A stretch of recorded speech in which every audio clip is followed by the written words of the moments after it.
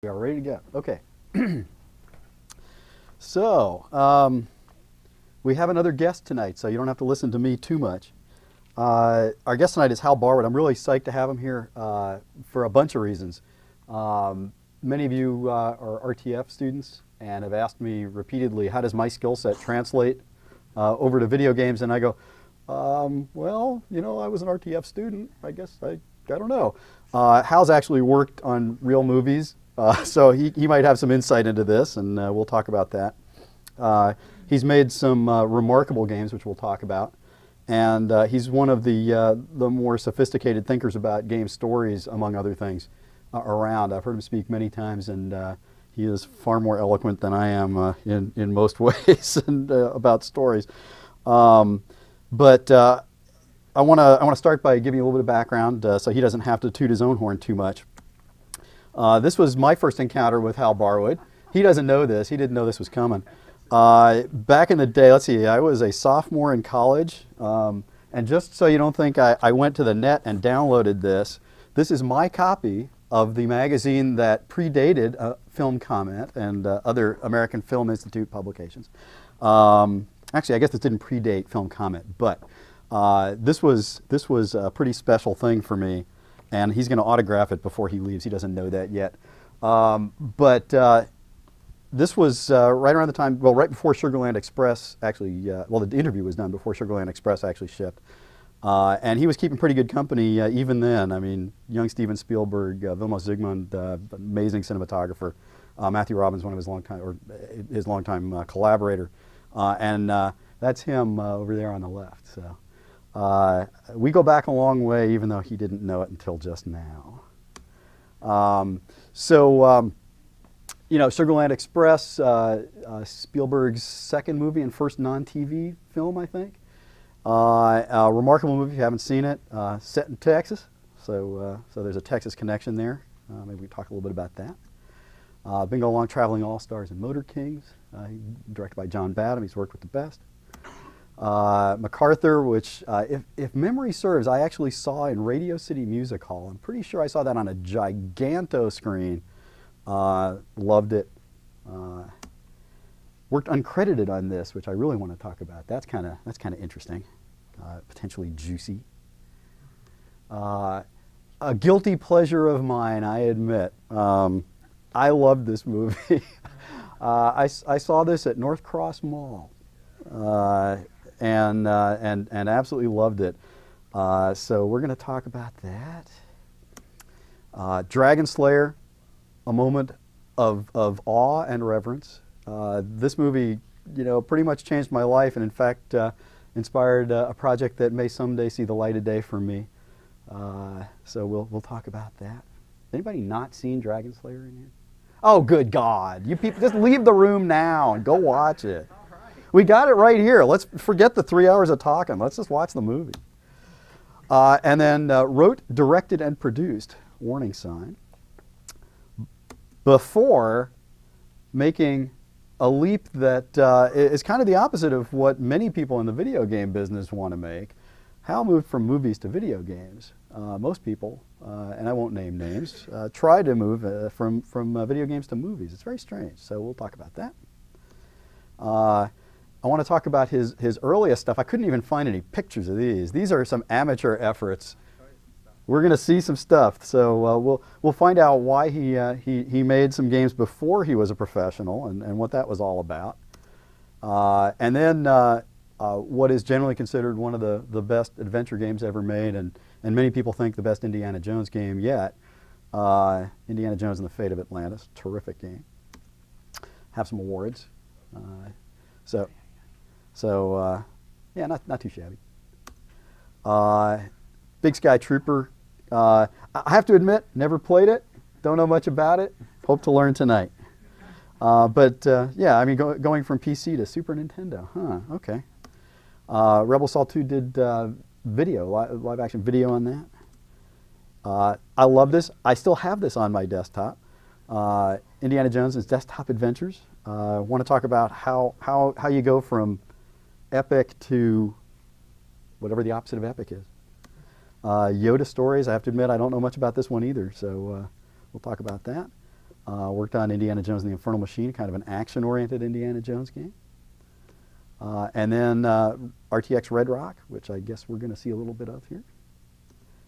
And then on to casual. I mean, this guy's done everything. I mean, movies large and small, games casual to, to epic. Uh, and most recently working on uh, an adventure game uh, with what sounds like some very interesting twists with a German company that I hope we can talk about. That's what makes games great right there on the left. okay, uh, also uh, a, a uh, frequent speaker, teacher, critic, writer in various places. So let's welcome Hal Barwood. And so we're gonna we're gonna wander over there. Do you want me to wander over there? I want you to wander over there. Okay. Although while you're later doing I'll that, do this. while you're doing that, let's see. Do I? I wonder if this will play. Oh God, I got all this cool stuff. Hold on, I'm I'm I'm gonna be a dweeb, I, and all these people will. Oh yeah, here we go. Let's see if this works. Is your audio plugged in, Warren? Oh no, hold on. Silent movies are good. Oh no! Okay, fine. They trust me with millions of dollars. It's amazing. Oh my God. Yeah, we're we're prepared. We're professionals here. There's a distinct lack of volume. Hold on. Hold on. I, I'm really not kidding when I say this. I love this movie. It is a guilty pleasure and well worth watching. Okay, we're going to start this over.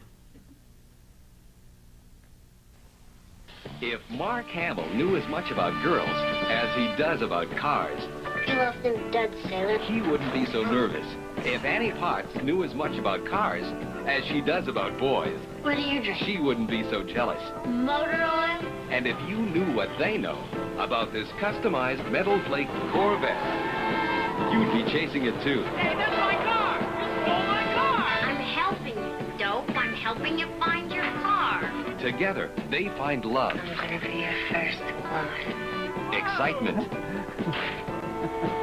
and danger on the trail of a stolen Corvette. Mark Hamill, back from Star Wars, and Annie Potts, who's out of this world. In Corvette Summer, That's a terrific car. a fiberglass romance. Rated PG. Okay.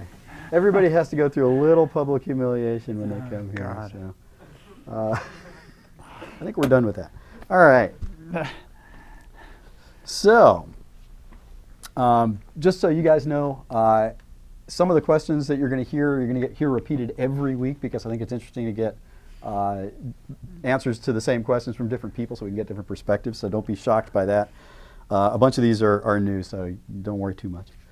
Uh, so we're going to start with some of the, the, the old ones, uh, like uh, where are you from, literally and metaphorically? Uh, And how's that I come from. I, I was born and raised in Hanover, New Hampshire, uh, where Dartmouth College is, and um, um, the reason I got interested in movies, I think, is because my father ran the movie theater in this little college town, and I got exposed to a very wide variety of films when I was about five to ten years old. I was, you know, Citizen Kane is something a, a memory for me from when I was just a tiny little kid, and um, so that's part of the explanation. I think there's no one can ever really explain why they do anything, but there's certainly an influence there, and and uh, it took off later in my life. Is, is there anything in, in your upbringing that you can look back on now and say, okay, this guy was clearly going to make movies? It sounds like making movies is obvious, but how about making games? Yeah, making games I think is more significant. Um, I'm the youngest by far of uh, five kids, and uh, I had these domineering older uh, sisters and brother, and uh, our house is filled with board games, and they would torture me by just defeating me and smashing me all the time, without any mercy whatsoever. So eventually I got good at that, and I got an interest in games as well at a very early age. But the reason why I couldn't go into games is because when I was growing up, computers were something that were in large buildings. They were large themselves. Men in white coats ran them, and you had to have like engineering degrees in order to be allowed in the same room with them because they were all specially air conditioned and they're false floors with these giant hanks of wiring running around. and I never even dreamed or hoped that I would ever get my hands on a computer, and I didn't think there was much of a career. I, I didn't even really understand that, that games kind of were um, designed and made by individual people. I just thought they were turned out the way you turn out, um, you know, Revereware that you cook with. And so I didn't want to do that, and I thought movies would be more interesting. So, in, in an interview you did uh, a while back, actually, you said you were designing games from the time you were a kid. What, Yeah. What what kind of games were you making? How did that happen? Well, the game that I did that was the most popular game among my friends was a, a was a kind of a wooden box. It had a little perforated um, masonite top that was all inset into this frame. I had some power tools and I cut this thing up and made it sort of nice. And it was just a bunch of wires, and on one side there were little switches for the defense, and on the other side there were little switches for the offense.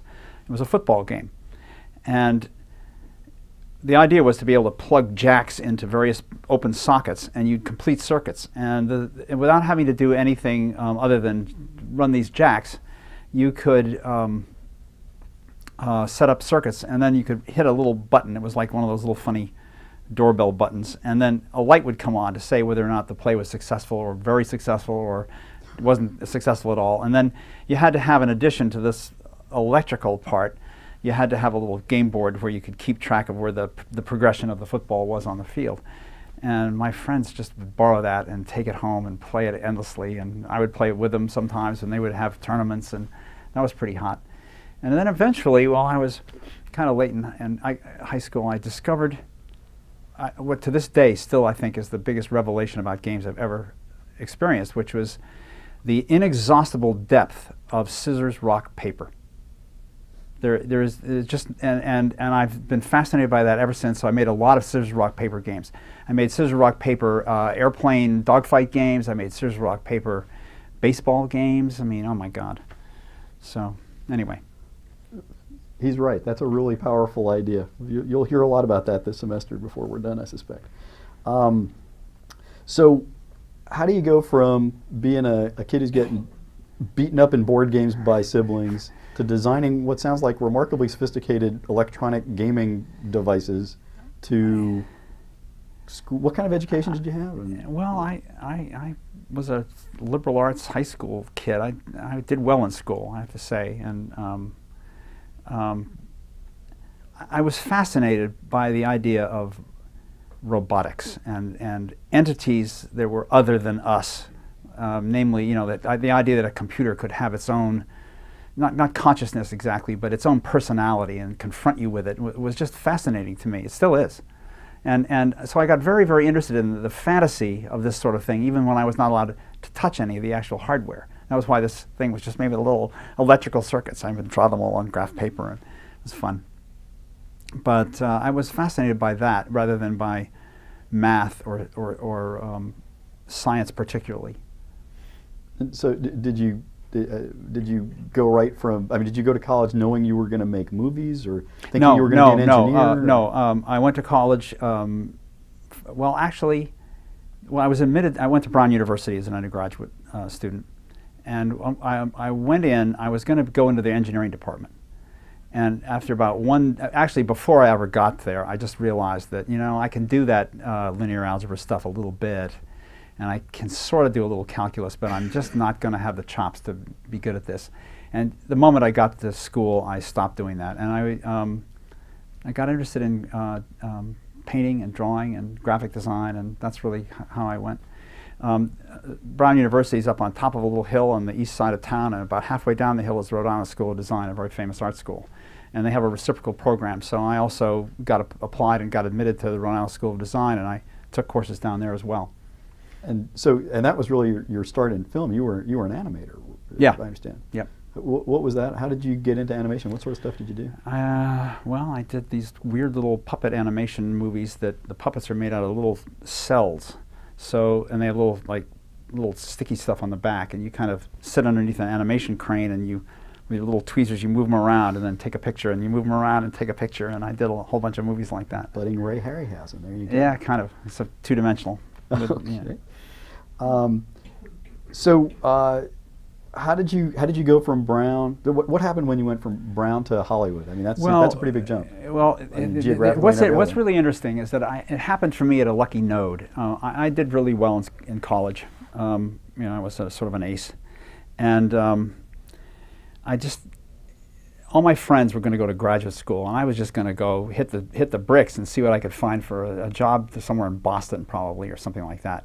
And I really didn't have any ideas. And about a year and a half before um, I finished school, I'm, I fell in with some RISD kids who were interested in movies, and they had little eight millimeter cameras, and we would go and we'd shoot uh, like the Boston Transit uh, Agency. We we'd do documentaries, uh, kind of like of you know what it's like to just little impressionistic documentaries about you know like the MTA and, and stuff like that. And I started to get interested in this sort of thing. I, I got interested in cutting movies together and seeing how images work together, and I realized that that was a form of graphics in effect. You know that, that there was something about a succession of images, which was a little bit like um, just designing, you know, a letterhead. And um, so I got interested, and then I discovered, luckily, one of my art teachers uh, uh, knew uh, James Ivory, the director. And James Ivory went to school at USC Film School, um, the, the, the, the greatest film school in the world. And um, so he said, hey, you know, why don't you apply there? And I did. And this was in the early 60s, before people stopped wanting to write the great American novel and started to want to write, to, to direct the great American movie. So I wrote off an application, and because I had a good record, I got a fellowship to go to USC. So I just, hey, this is great. And my childhood sweetheart and I um, got married and came to California. So that was it. It was just a wonderful opportunity. Um, and that solidified my idea of going to the movies.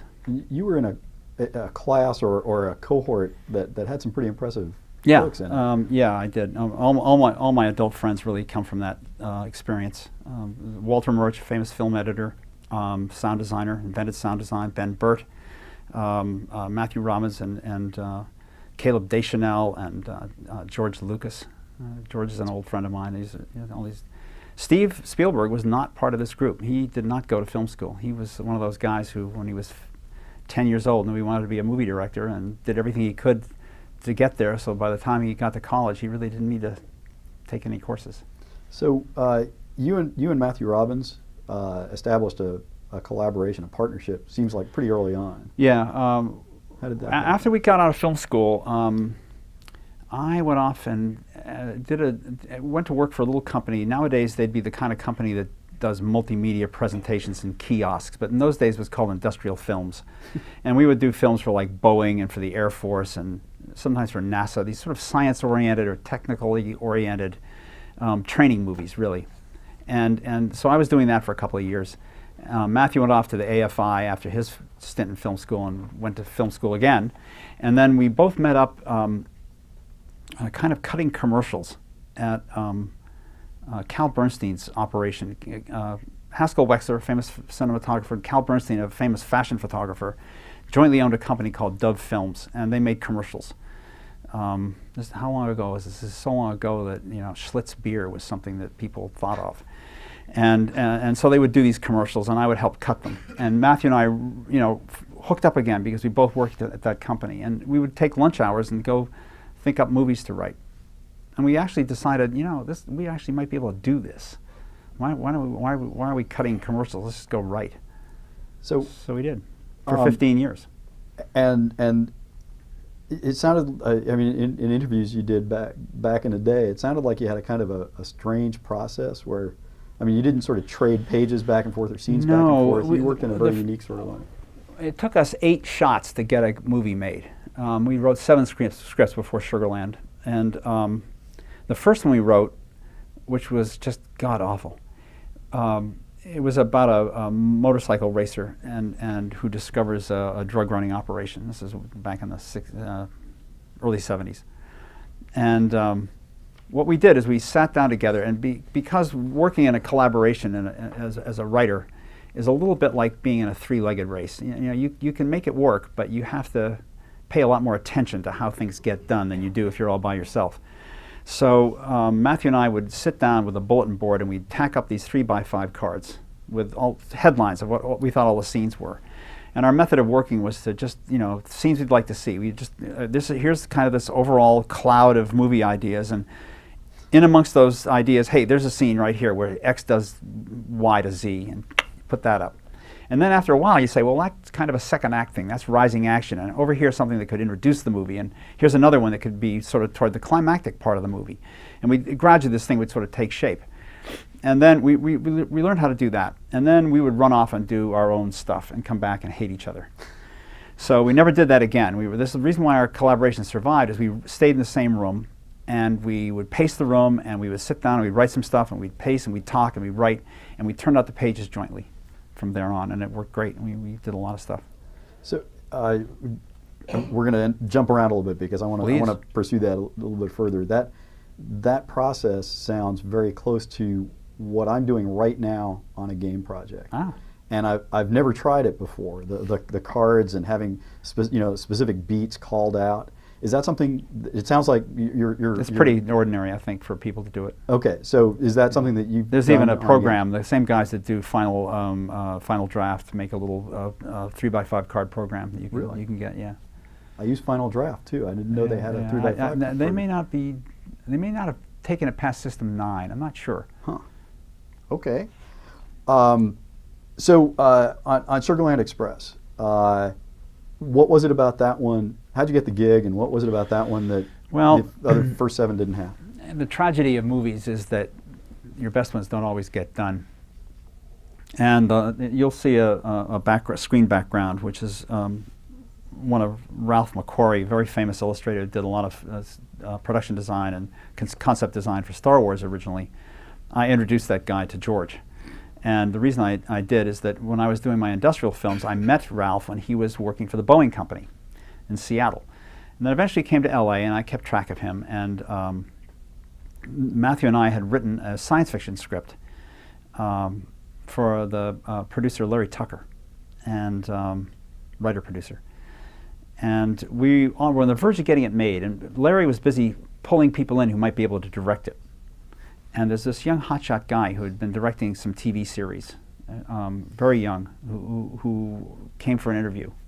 He had really long hair, and and uh, it was Steven Spielberg, and that was how we met. So now the clock goes forward a couple of years. Now we're friends, and um, um, suddenly Steve had this news item from uh, a, a police chase that happened um, uh, sort of between the Louisiana border and Houston, and uh, it was a hijacking of a police car.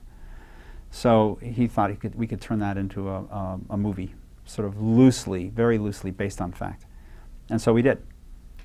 The reason it's loosely based on fact is that the real events are so horrific and unendurable that you just can't even really think about them very hard without just wanting to kill yourself. So um, we Hollywoodized it shamelessly, and I'm still glad we did. So uh, Matthew Robbins said in, in, in an interview in that magazine, actually, that uh, the first thing you did on Sugarland Express was uh, to create an advertisement for the movie, you know, full of hot lines. Well, we, You d- we did try to do stuff like that. I s- I feel like I'm still doing that I think that's still now. a good thing you should be doing because Yeah. otherwise you don't understand your premise. If you can't understand the part of your premise which is going to put seats in the theater, then you're not making the right game. So okay, so something that's still applies. And I have to say, there's some games that I've made since that day where I, I wish I'd been a little more careful about the hot lines. Uh, yeah, I think we can all say that. Um, so, uh, boy, you know, I'm tempted to, to sit here and talk about movies all day, but I, we, we should probably move on. Um, from from Sugarland Express uh, to Bingo Long Traveling All Stars and Motor Kings. Um, so, from ripped from the headlines, you know, sort of action chase movie to baseball movie with, about black barnstorming baseball players. Um, How does that happen? Well, the movie business is, is small. It's largely, to this day, based in Los Angeles. And so if you're swimming around in the, the cesspool that is Hollywood, you meet a lot of people. And one of the people that I met was a guy named Rob Cohen. And Rob, in those days, was an executive. He's since become a director. Fast and the Furious is Rob's movie. Um, for Motown, who was trying to move into the movie business. That's kind of a real version of the of um, Dreamgirls, and um, Rob was kind of leading the pack, and they were they were looking for a material that could be, uh, you, you know, have black stars and, and, and, and appeal to a black audience. And William Brashler, a guy in Chicago, had written this wonderful book about um, black baseball players before the color line was breached. And um, Rob asked us to adapt it, and we did. Did- so it's the one, one ap- adaptation. Uh, so was was the book enough reference material for you? Did you go look at Oh Satchel no, Paige no, and no, no, no. Josh Gibson you, and all that you just you read a pile of stuff suddenly. Suddenly your suddenly your life is turned into. This is before the internet, so yeah, a lot of actual books, you know, piling up on your desk and notes and three by five cards and confusion. Uh, I, I can only imagine how much research went into MacArthur.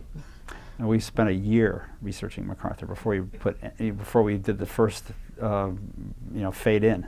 That's that's an amazing luxury. I mean, did, was that typical, or was, was that a new experience for you? No, it was. We needed to do it because it was a, one of those movies that really had to trade on being reasonably factual. And we, the other problem is that we were following up on Patton, and uh, Patton was a very, very colorful character. And I've since learned not as important to the war effort as the movie might make you believe. But MacArthur um, was a very dry, spare, remote character who was like a generation older than all the other uh, commanding generals in the army. He, he, he's one of those guys that got in, he was a year or two older than Eisenhower and the other guys, Patton and so forth, and um, Marshall. And, and um, he went to West Point, and then in the First World War, he got promoted to general before the war ended. He became a brigadier general in the First World War. And so as a result, he, and the other guys didn't, they were still like majors. So, you know, he went through with this um, uh, kind of, his career was over really um, before the first, the Second World War started. He was, he had retired, and he was brought back out of retirement during the Second World War, and then stayed out of retirement until Truman fired him Korea. But he was an old man by then, he was in his 70s. So, looking looking at, at the career up to this point, it's it seems like the movies are getting a little bit bigger, and MacArthur seems pretty big, and then all of a sudden there's Close Encounters uncredited. Well, um, I have to understand that I wrote about three dozen screenplays, and about 30 of those with my partner Matthew. And of that number, only six emerged with my name on them. And I don't um, say that in order to sound like, um, gee, I had a lot of trouble, because that's quite typical. In fact, my batting average is probably better than average. Um, Danny Rubin, who wrote one of the most wonderful movies ever made, Groundhog Day, has never ever had any other thing ever made, and which is sort of a tragedy. So we did pretty well. And um, Close Encounters is a, a movie we were asked to write. Um, Matthew and I wanted to do our own stuff, and we didn't really want Close Encounters to get made, but Steve was a friend. And so er, we were trying to get this other movie made, and we didn't want to get involved.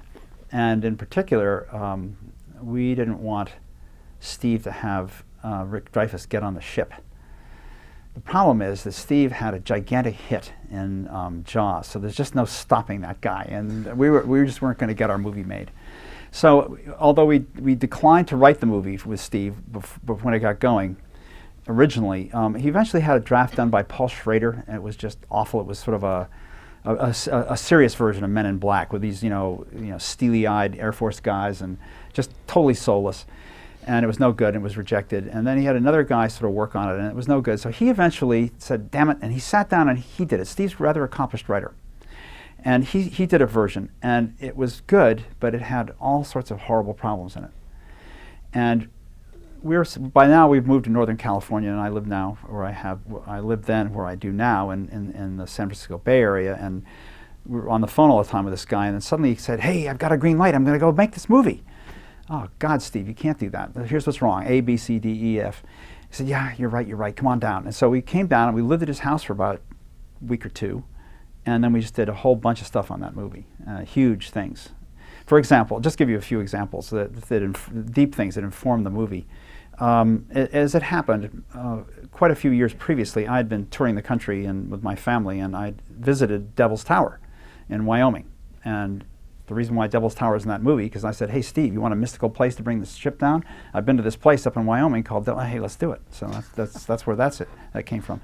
The young kid uh, um, Barry, um, is in the movie because Matthew and I wanted him there. Uh, there was a big problem in that movie. Um, the climax is a, a moment of wonder and awe, but there is no dramatic resolution. You know, you're, you're there. Here's the here's the the, the giant um, volcanic plug, and here comes this amazing, glittering, light-filled ship that come down and fill you all with awe, but there is no drama.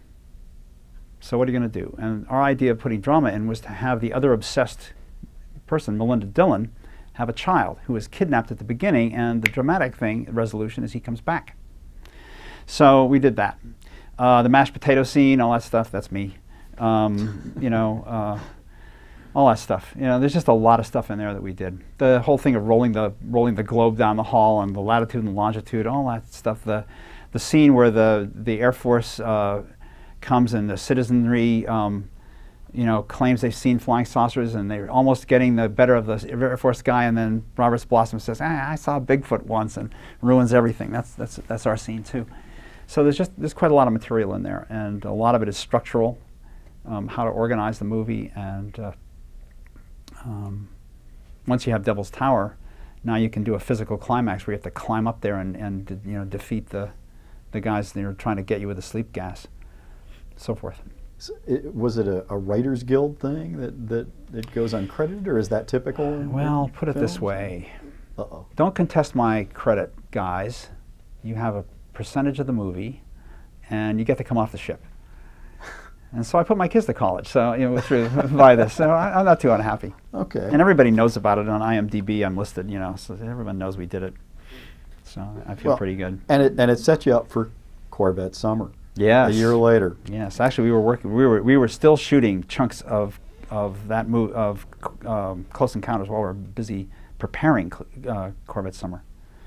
S- uh, Steve had uh, had a huge success with a preview on Jaws, and they all wanted him to do the same thing. And he came down somewhere in Texas, but it wasn't here, maybe Dallas, and um, do a preview of Close Encounters, and it did not go so so well got very nervous, and a lot of stuff got shot after principal photography. We just he was he was shooting for months uh, up until it was just about released. Wow. Um, so Corvette Summer, I I'm obsessed about the movie. I'm sorry, I'm not going to let you off the hook. Corvette Summer and Dragon Slayer, man. Uh, I, I, I, I, I promised myself and my wife that I wasn't going to goober, but um, I you know, I mean, the idea that someone is, um, you know, f- uh, interested in Corvette Summer is so flattering that I, I don't know how to respond to any of this. well, Jeez. it's luckily we only have three hours. Um, so uh, this one, okay, just where to begin? Uh, you were you were the writer with Matthew Robbins on this, and Yeah. you produced, Matthew and directed. Robbins directed. It. How did you decide which roles were going to be played by? by It, it goes back to a film school, really. Um, my dreams of directing were suppressed because I, I really never took the actual directing course at USC. I was very interested in uh, animation. I was pursuing that. I pursued it professionally for a while before Matthew and I started writing together, and um, I wasn't. I, I wasn't fully conscious of my desire to actually step behind the camera and direct.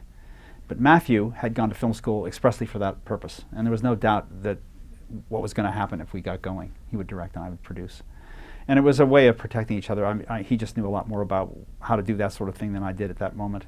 And um, uh, I was perfectly willing to. I have enough of a head on my shoulders so I can sort of keep track of goods and services. So, okay, I'm the producer. So that's how we did it. And uh, how, how did how did uh, uh, Mark Hamill get involved in this? All right. It seems like an odd thing for him to do career-wise. It seems like an odd. odd, it's- casting in it's the odd. movie. It's odd every way you can think about it. Um, here's what happened. It's an original. We wanted to do. It was a teenage quest movie, um, a coming-of-age movie, and um, it was it was very brutal. The, the first versions of it. It was rather realistic, and uh, the Vanessa character was pretty down and dirty. And our idea of casting was a, a guy you almost don't even know about anymore, a guy named Don, John Savage, who was this very serious kind of um, actor studio sort of gritty uh, uh, Broadway actor with a bit of a film career. And uh, it was going to be a kind of a rough and tough movie. But the studio got nervous about that. And not only that, but um, of course we knew Mark through um, George. So we, we, we, met, we had met him. And we had seen a TV show, uh, a movie, TV movie that Mark Hamill and John Savage did together when they played brothers. John Savage uh, uh, comes down with some terrible, terribly uh, swift cancer, and it's the relationship between the two brothers. And we, we watched this TV movie and we said, you know, that kid Hamill is really good in this thing, and he's more interesting than John Savage. So we, we cast Mark, but what we didn't really quite understand when we cast him was that Mark is very good, or was then anyway, uh, but he his persona, what he's made of inside, and how he comes across on the screen, lightened the movie enormously. And we just could, he just couldn't have Mark Hamill going through the agony that we were going to put John Savage through. So the, the movie lightened up and became more of a romantic comedy. And that's really what happened. And the very last, I've had some bad luck with titles, and Corvette Summer is one of them. Um, we made this movie for MGM, and it was called Stingray, and uh, with a little bit of uh, idea behind the sting part of the Stingray. And um, everything was great, but at the last minute, some St. Louis fly-by-night movie company found out that we were in production and thought for some reason that we were going to make this big hit movie. And they were going to um, sort of do this low-rent movie about stolen cars. Um, and call it Stingray and get out before we did. And, well, the rule and you can't you can't copyright a title. They're not copyrightable. All you can do is have first issue. So if they actually got out there first, we weren't going to be able to use that title. And instead of trying to get the lawyers at, for MGM to put the clamps on this guy, they just caved and said, ah, we'll find another title. So one day we came to work and found out it was called Corvette Summer, and we just about jumped off the bridge. oh well. I just about wrote my dissertation on that one, uh, actually. Wow. I was, I was going to write about coming of age movies, and it's, it's an underappreciated movie you should watch. Uh, and speaking of not particularly underappreciated movies, but uh, uh, Dragon Slayer, um, we don't even have to talk about it, other than for me to say. I mean, we can actually. No, I'll show you. But uh, if you want. I mean, as a, as a fantasy fan, and as a, I mean, I'm doing what I'm doing because of Seventh Voyage of Sinbad and Ray Harryhausen. Ray? Harryhausen. All right. And- his, his acolytes worked on my movie. when I we're going to talk about that. Okay, fine. You're on the hook to talk.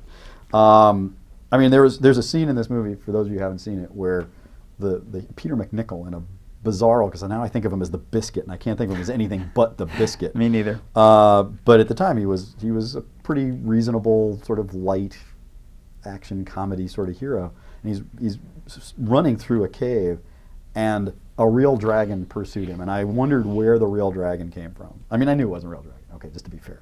But um, it was I mean really the, the acting is terrific, the story is terrific. It's got some meat uh, about I mean there's stuff going on about religion and and, Yeah. and oppression and superstition and, and to remember, we yeah. grew up. We, we we were starting out in the '70s when we had not quite as wonderful as our current president, but uh, one pretty right up there, Richard Nixon, and uh, so we were doing a Nixonian dragon story. Uh, it, it, the depth is there, um, and uh, the, the the effects. I mean, are just they're over the top incredible. Now, I mean, people see uh, CGI ev- every day, and so it probably doesn't have the same impact. But All I could say is I wish we had CGI. oh man, you think that stars are troublesome and and uh, um, recalcitrant, you know, staying in their trailer and causing you to lose all the time on the set and so forth. And it's true that actors every now and then can be badly behaved, and some are famous for, for being that. But nothing is as badly behaved as a rubber dragon. My God. So anyway, um, you don't have to have rubber dragons anymore. That's definitely good. I have one hanging The mats ceiling work right now. automatically. You don't have to worry about that anymore. It's, that's wonderful. Um, everything's done in Photoshop or uh, super versions thereof, and uh, it's just it's just a marvelous thing. Um, the other thing that's going on is that if you look at uh, George's the last, uh, it's not quite true of Episode One, but Episodes Two and Three of Star Wars, the two last Star Wars movies, which were shot digitally, um, as well as became uh, digital uh, projection versions. Um, both of those movies are 100% special effects movies. Every single thing about them has gone through the ILM mill. Now, in the days of of uh, first Star Wars, of course, that wasn't true, and I think George had three or four hundred shots, I guess, or something like that. It's not that much. Out of two thousand cuts in the movie, or maybe maybe three thousand cuts, there's probably five or six hundred that are that are special effects. And uh, he invented ILM for the purpose. Um, we had about 160 shots total in Dragon Slayer. That's all we could afford to, to do on a, about a $20 million movie, which was very expensive in its day. Nowadays, stuff is like that is reasonably cheap once you get rolling and make the models. And my God, we just would have gone nuts. Well, it's a terrific movie. Go motion is amazing. Wow, the, the stuff of blurring between, Yeah. you know, on, on stop motion is. we had a little computer and and uh, the, the the the not the flying dragon but the walking dragon um, had little armatures which have been since you know removed with Photoshop techniques. Um, and uh, what would happen is Phil Tippett would um, get the dragon into his position and then back up a frame, and then you open the camera um, aperture while the dragon gets to the next position. So there's blurring uh, in the direction of motion. Now, in, in real life, unless things are going really, really fast, you don't have blurring in the direction of motion. But in a movie, if you've ever looked at frames of film, it, it, it's amazing that how unlike still photographs movies are. In a still photograph, everything is generally, unless you're being very arty, uh, you know, super sharp. But in a movie, almost nothing is ever sharp. Only parts of the frame are sharp in any given frame. And over a, period of time, your mind kind of integrates it all and it becomes sharp in your head. But when a person makes a gesture like that, and you look at the frame that that gesture's on, it's just a blur, it's just a streak. And people are used to seeing these, this staccato burst of images one after another being connected by these blurs so that this, this part of my gesture is connected over there by this sweep. And you have to worry about this when you're doing animation. So that, for example, in classical Disney animation, you often get what are called strobes, where someone would do that um, same gesture and it would go tick, tick, tick, tick, tick. And you, you'd watch it. You'd see like three arms as you'd watch a gesture like that. Go take a look at some of the older movies. If you look at a lot of Disney movies from, from you know, the 40s and so forth, most of these movies, um, a lot of this stuff can be shot on what's called twos, where you have a character and you take two frames and then you move them and you take two more, you know, when you're drawing. Um, but whenever big motion would happen, everything would be done on ones so that you'd have as many items as you could. And then sometimes, um, if they were really important scenes and they really had to make sure they seemed fluid, the inking and painting would be done in such a way as to actually produce those blurs. And we could just do it with a little computerized system. It was pretty neat. And up until the era of CGI, that was a big part of uh, the repertory of, of ILM to, to, to do creatures. groundbreaking stuff. Um, and then from there, warning sign, where you did direct. So why Yep. the decision to direct at that point? I wanted to direct. I, I decided finally I wanted to direct, and it cured me. well, okay, that was my next question. Um, and uh, I, I have to admit, I haven't seen the film.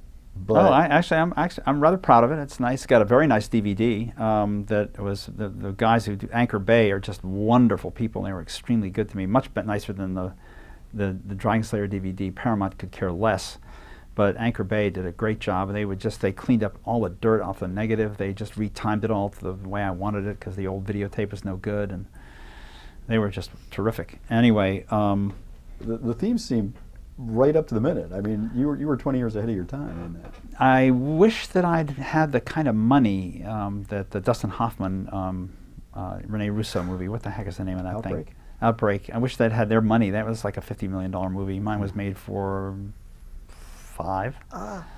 So I can't even make a game for that anymore. I know.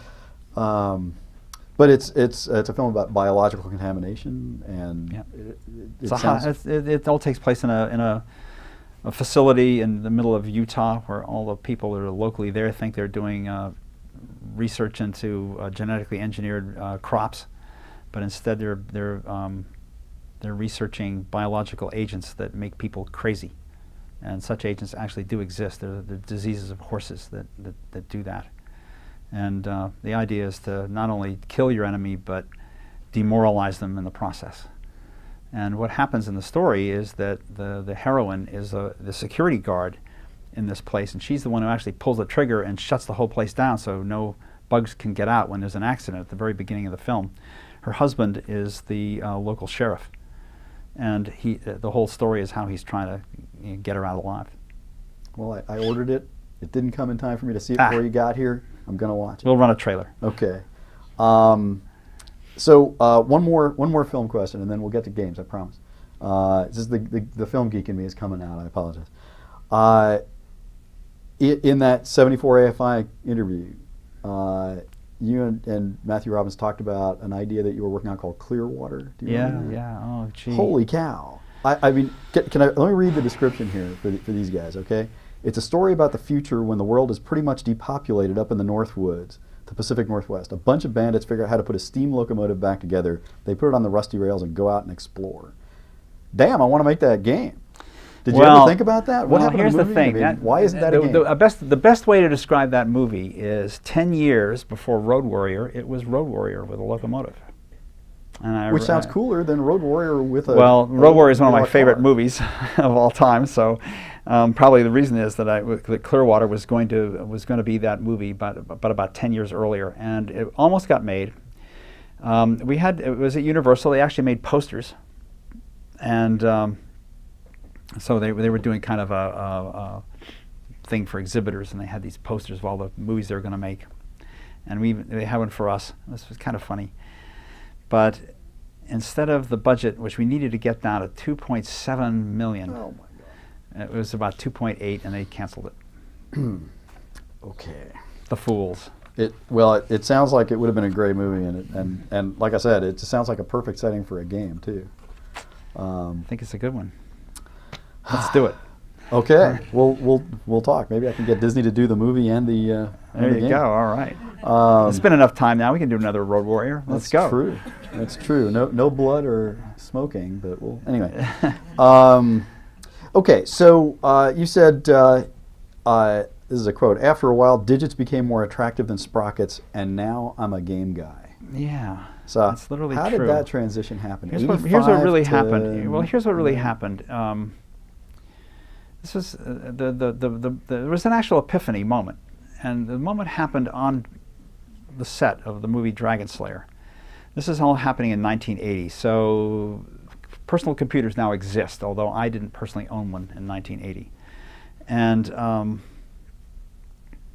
we were in suburban London, uh, a very expensive place to live then and now.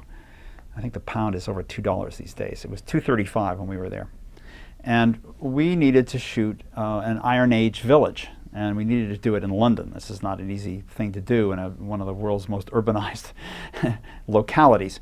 But there was a place called Stalker's Farm just outside of the city, where we could have basically 360 view and just see trees and um, fields. Okay, so we built uh, a village of thatched huts and everything there, and uh, staged a bunch of scenes. We, we burned the thing to the ground with a dragon flying over in the middle of the night. We did dances. Um, there's a whole sequence there where Caitlin Clarke is revealed to be a girl and not a boy, um, so that she's going to avoid the, the, the dragon lottery. Um, uh, the, the, the Ian McDiarmid character, who later became uh, famous in Star Wars as the Emperor, um, uh, is a Christian uh, missionary trying to convert all these people. And, you know, uh, uh, if we pray, the dragon will go away, that sort of thing. And, um, and then the uh, evil minions of the king come in to uh, wreak havoc when it's all done. And this is really elaborate. So there's a celebration, and there's, and they think they've gotten rid of the dragon, and there's all this dancing. There's hundreds of people dressed in burlap, and you have to make sure they don't have running shoes and wristwatches on, you know, because this is the Iron Age, and so on and so forth. And so this is really elaborate uh, a bit of production. I, I was um, uh, in, a, in a state of incredible stress and anxiety. It turned out that um, a character named Tyrian in the movie, um, John Hallam, had uh, thought he missed his call sheet, and he thought he was off for a few days, and he was on a boat to Ireland and we had to literally, you know, fly him back at the, you know, meet him at the dock and fly him back because he was working that night. Just horrendous. And um, so all this is going on, and, and Derek Van Lint has got these huge towers where he's going to produce moonlight with these gigantic arc lights. And um, there's a choreographer there teaching these very quaint dance steps to um, the pagan population. And once I had gotten all the goods and services there, once the thatch was on the huts, once the gasoline was at the ready, uh, once Derek's towers were up and the lights were going on, I found that I had no interest in watching Matthew work. And instead, I wandered off the set and to my little trailer, I had an HP 41C calculator, which was the first calculator that actually would do letters as well as numbers. And I taught that calculator while Matthew's off directing the movie, uh, which is dear to my heart. Um, and nevertheless, I found it more interesting to sit alone in a room and program my HP 41C calculator to play Hunt the Wumpus. And I realized if that were really true, I was in the wrong business.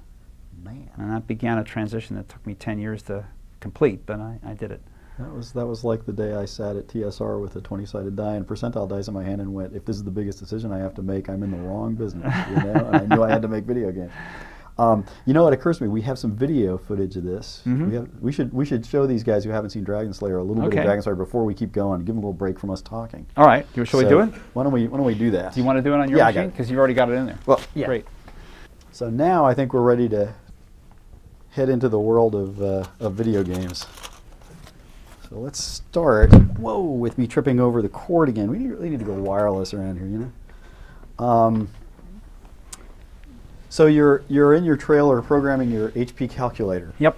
while Matthew Robbins is killing dragons and, and having other people take credit for it. Um, so how did it's seven years, six years, five years? How long was it before you actually got a job, and what happened That's during those five 1980, years? and 10 years later, I went to work for LucasArts. So Right. Okay. And the reason is that I still, uh, and, and sadly for me, I was unable to understand that I should just do everything possible to get in the game world because had I done so, a game that maybe I'll show you a little bit of uh, later uh, might have gone on to become a minor hit in the days when the Apple II ruled the world. But instead, I did a big chunk of that game, but then I made Warning Sign in the middle of it all. And uh, so that's, that slowed me down. And by the time I got back to um, my little Apple II game, uh, the Apple II uh, phase of life had vanished. And uh, so I was writing screenplays, and uh, as had happened previously, I had had some that didn't sell and weren't getting made. And a phone call came in from LucasArts. In those days, it was called uh, Lucasfilm Games and they wanted someone to do um, a follow-up to uh, a hit game they had done, which was the adventure game uh, Indiana Jones and the Last Crusade, which was a tie-in to the other movie, the last movie. but between there, you actually worked on at least two games a, as an amateur Yeah, on your own. yeah, What- yeah, I did. What, so like, I, I haven't been able to find anything about them other than Well, the yeah, I'll show you. I'll show you one of them. Excellent. Uh, I was fascinated with computers, and suddenly I could have one in my own home. And um, the interesting thing is that Apple IIs were pretty slow. The 6502 processor ran at just about exactly one megahertz, just slightly over, and um, which meant that since the shortest instruction that uh, 6502 can process is three cycles, and most of them are four or better, that means you can do about a quarter of a million things each frame, you know, each second really. So that's not a lot. Um, and I, I had uh, learned BASIC. Uh, years ago, when I was still in film school, actually, I, I spent a summer back in my old hometown, Hanover, New Hampshire. And that happens to be where the computer language called BASIC was invented by John Kemeny and Thomas Kurtz, who were the math uh, guys back there then. And I went back one summer. This is a long time ago. How long ago is it? It's so long ago that the instruction manual, manual that I purchased at the Dartmouth bookstore was mimeographed. It had purple ink. It was little, little flimsy pages, and I, uh, okay. So I went up, they had a big GE time sharing computer. I never even laid eyes on it. But in various halls around the campus, they had um, lots of teletypes set up. And so I went in there and I, I got a code number from a friend who lived in Hanover and typed in my little login and I taught that machine to play scissors, rock, paper in BASIC. So I knew a little bit about that programming language. And when Apple II Pluses came out, they had a little chip in there which did BASIC. So the first thing I worked on on an Apple II uh, was in BASIC, and it was just horribly slow. I didn't really understand back then. I'm not a CS guy. I didn't really quite understand what it meant that in, an interpreted language was. So um, I got a compiler. Microsoft made a compiler for Apple Basic called TASC, and um, you could then you could grind um, your basic code through this little sausage machine, and out the other end came compiled code, and it sped up everything by about a factor of 14. So I could I did a little uh, model railroad game called Binary Gauge using this technique, low res, and You can you can still do it today with an Apple emulator, and you can have this little trains and running around and a couple cars. Now they're just a bunch of little colored blocks, and the track is. They actually follow the track. The track is a certain color, and the, the train is going along, and it's surveying to see where the track goes, and it follows the actual track just like a real train. When it runs off the edge, the system knows how to call up other files from the disk, and so you can you can piece together gigantic, vast, very very diagrammatic railroads, and that was fun. And then I thought, okay, it's pretty slow. I think I should learn assembly language, which I did. And uh, okay, so I'm sitting there, and I decided I wanted to make a game which was tiled. That was what you did to kind of conserve uh, space. You, you, everything was represented as tiles, and you could make larger structures by gluing the tiles together. And so I had this 20 by 10 thing, which I was going to do, and there was a little strip beneath that where I would put an interface. And I thought, well, okay, I've got this little tile. And I, I, I wrote this thing, and I had it sort of um, stored on a disk as a, as a file, and then switch the Apple over into its machine language version and you typed the magic word the letters 3D0G. And then when you hit return, it would run whatever assembly program you would, you would put in a certain spot in memory. So Sorry. I, uh, ay, ay, ay. Cool. Yipe. Sorry. Anyway, Keep talking. so um, I was sitting there fantasizing about the speed that was going to come up when I when I did these tiles using assembly language, and I thought, you know, it'll probably be really fast instead of that horrible wave that would go through as I as I slowly redrew the screen with the compiled BASIC. It'll probably be really fast. There'll be this little wave that'll go through, kind of zoo, and boy, that'll be cool. So I hit 3DOG, and there were these. There was just this screen sitting there, and it was my tile, the, the, the one test tile, reprinted 200 times or whatever, 20 by 10. And it, it happened so fast, it, there was nothing. It was just bunk. And I realized, oh my God, if I learn to do everything in assembly language, it's going to be hundreds of times faster. So I taught myself to be an assembly language guru, and I did this entire game, Space Snatchers, in uh, hairy uh, 6502 assembly language. Boy, oh boy. Did the guys at Lucasfilm at the time know you? you Yeah, they, sort of they, they sort of did. Um, because of George, uh, my f- you know, friendship with George, I, I got to know a guy who ran the, uh, that group in those days um, named Steve Arnold. He was like the second guy who ran Lucasfilm Games. And I also, at that point, made friends with some people who were working there. And that's sort of how they knew me a little bit, so that later on, when they wanted to do another game, they, they, they knew I'd done something as a game. And they thought, well, like, let's get Hal. And uh, so Indiana Jones and the Fate of Atlantis was the first game you worked on. At LucasArts, yeah. and uh, it, it was it was an adventure game. Mhm. Uh, in, Yep. in some ways, a pretty straightforward adventure game, sort of linear story, you know. Well- but but it introduced one major innovation that I think is still pretty. I think, it had. I think it had two, actually, but Uh-oh. go ahead. Well, the one the Three one that, for us. The one that jumped out for me was clearly the you know pick your play style. The, the, pa- the paths. Yeah. Yeah. I know. I know. Yeah. That's what you're very fond of. yes, I am. Yes, and I, I did it. Um, there was originally a suggestion of my collaborator, Noah Falstein, who helped me do the initial design and then f- went off to do other projects, uh, leaving me behind holding that three path bag. uh, to get those three paths in there cost about, I don't know, six months of my, t- my life. In those days, that seemed like a big fraction of a game cycle. Nowadays, it's like nothing. But we've been disagreeing about this for 16 years. No, and I no, even I, know I loved it. Excellent. no, I loved doing it, but it was just really hard. It was hard to wedge it all in there. It was hard to get it to work. Yeah. And uh, it, it, uh, my hair started turning really gray when during, during that period. But that's one of the innovations. I th- I'm still very proud of that, and uh, the fact that we sort of brought it off. And it was it was puzzles and Well, I, and I action sort of introduced the idea of mini games. I, kind of they had they, in the previous uh, Jones adventure they they had done fighting because they knew Indy how to do that. But I introduced a whole bunch of other mini games, camel racing and sub sub docking and all sorts of other little things that you would do as activities rather than as just puzzling. And um, I'm very proud of that. And I'm also proud of the fact that uh, Lucas had developed a phobia about having any of their characters get killed. And I thought, well, you know, the problem is that Indiana Jones is a an action hero, and he goes uh, in a harm's way, and he his screen persona is one of someone who's always in uh, jeopardy. And I thought if we didn't actually kill or threaten to kill Indy and g- give you moments when it could actually happen, then we wouldn't be true to his character at all. And so we did that. And so I was a complete violation of the house rules when it came to that. And I'm also very proud of that. okay. Uh, and were you involved at all in, in the action game version? There was there was an no. adventure game. No, no, no. They they, they they they gave that to some English guys. That seemed like a strange decision at the time. It seems even more strange looking back on it. Releasing two games with the same name with Yep. different, completely Yeah. different play styles. Now, Indiana Jones: The Fate of Atlantis is a big hit. It was the first Yeah, the first game that um, LucasArts published that was in as many as 256 colors. Ooh. And um, it was also our first voice uh, production. Now there was, they had done after the fact a um, a voicing of Loom, Oh, but it was done with very clunky technology. It wasn't done in a proper way. It was barely there. It was like it was literally like movies when you had somebody needle dropping a record to do the sound. It was literally like that.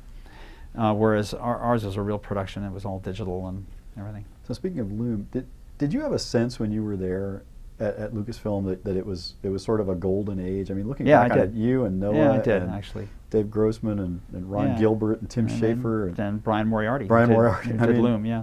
the- I, I thought it was great. and It was wonderful. Um, but that was then. This is now. Well, So.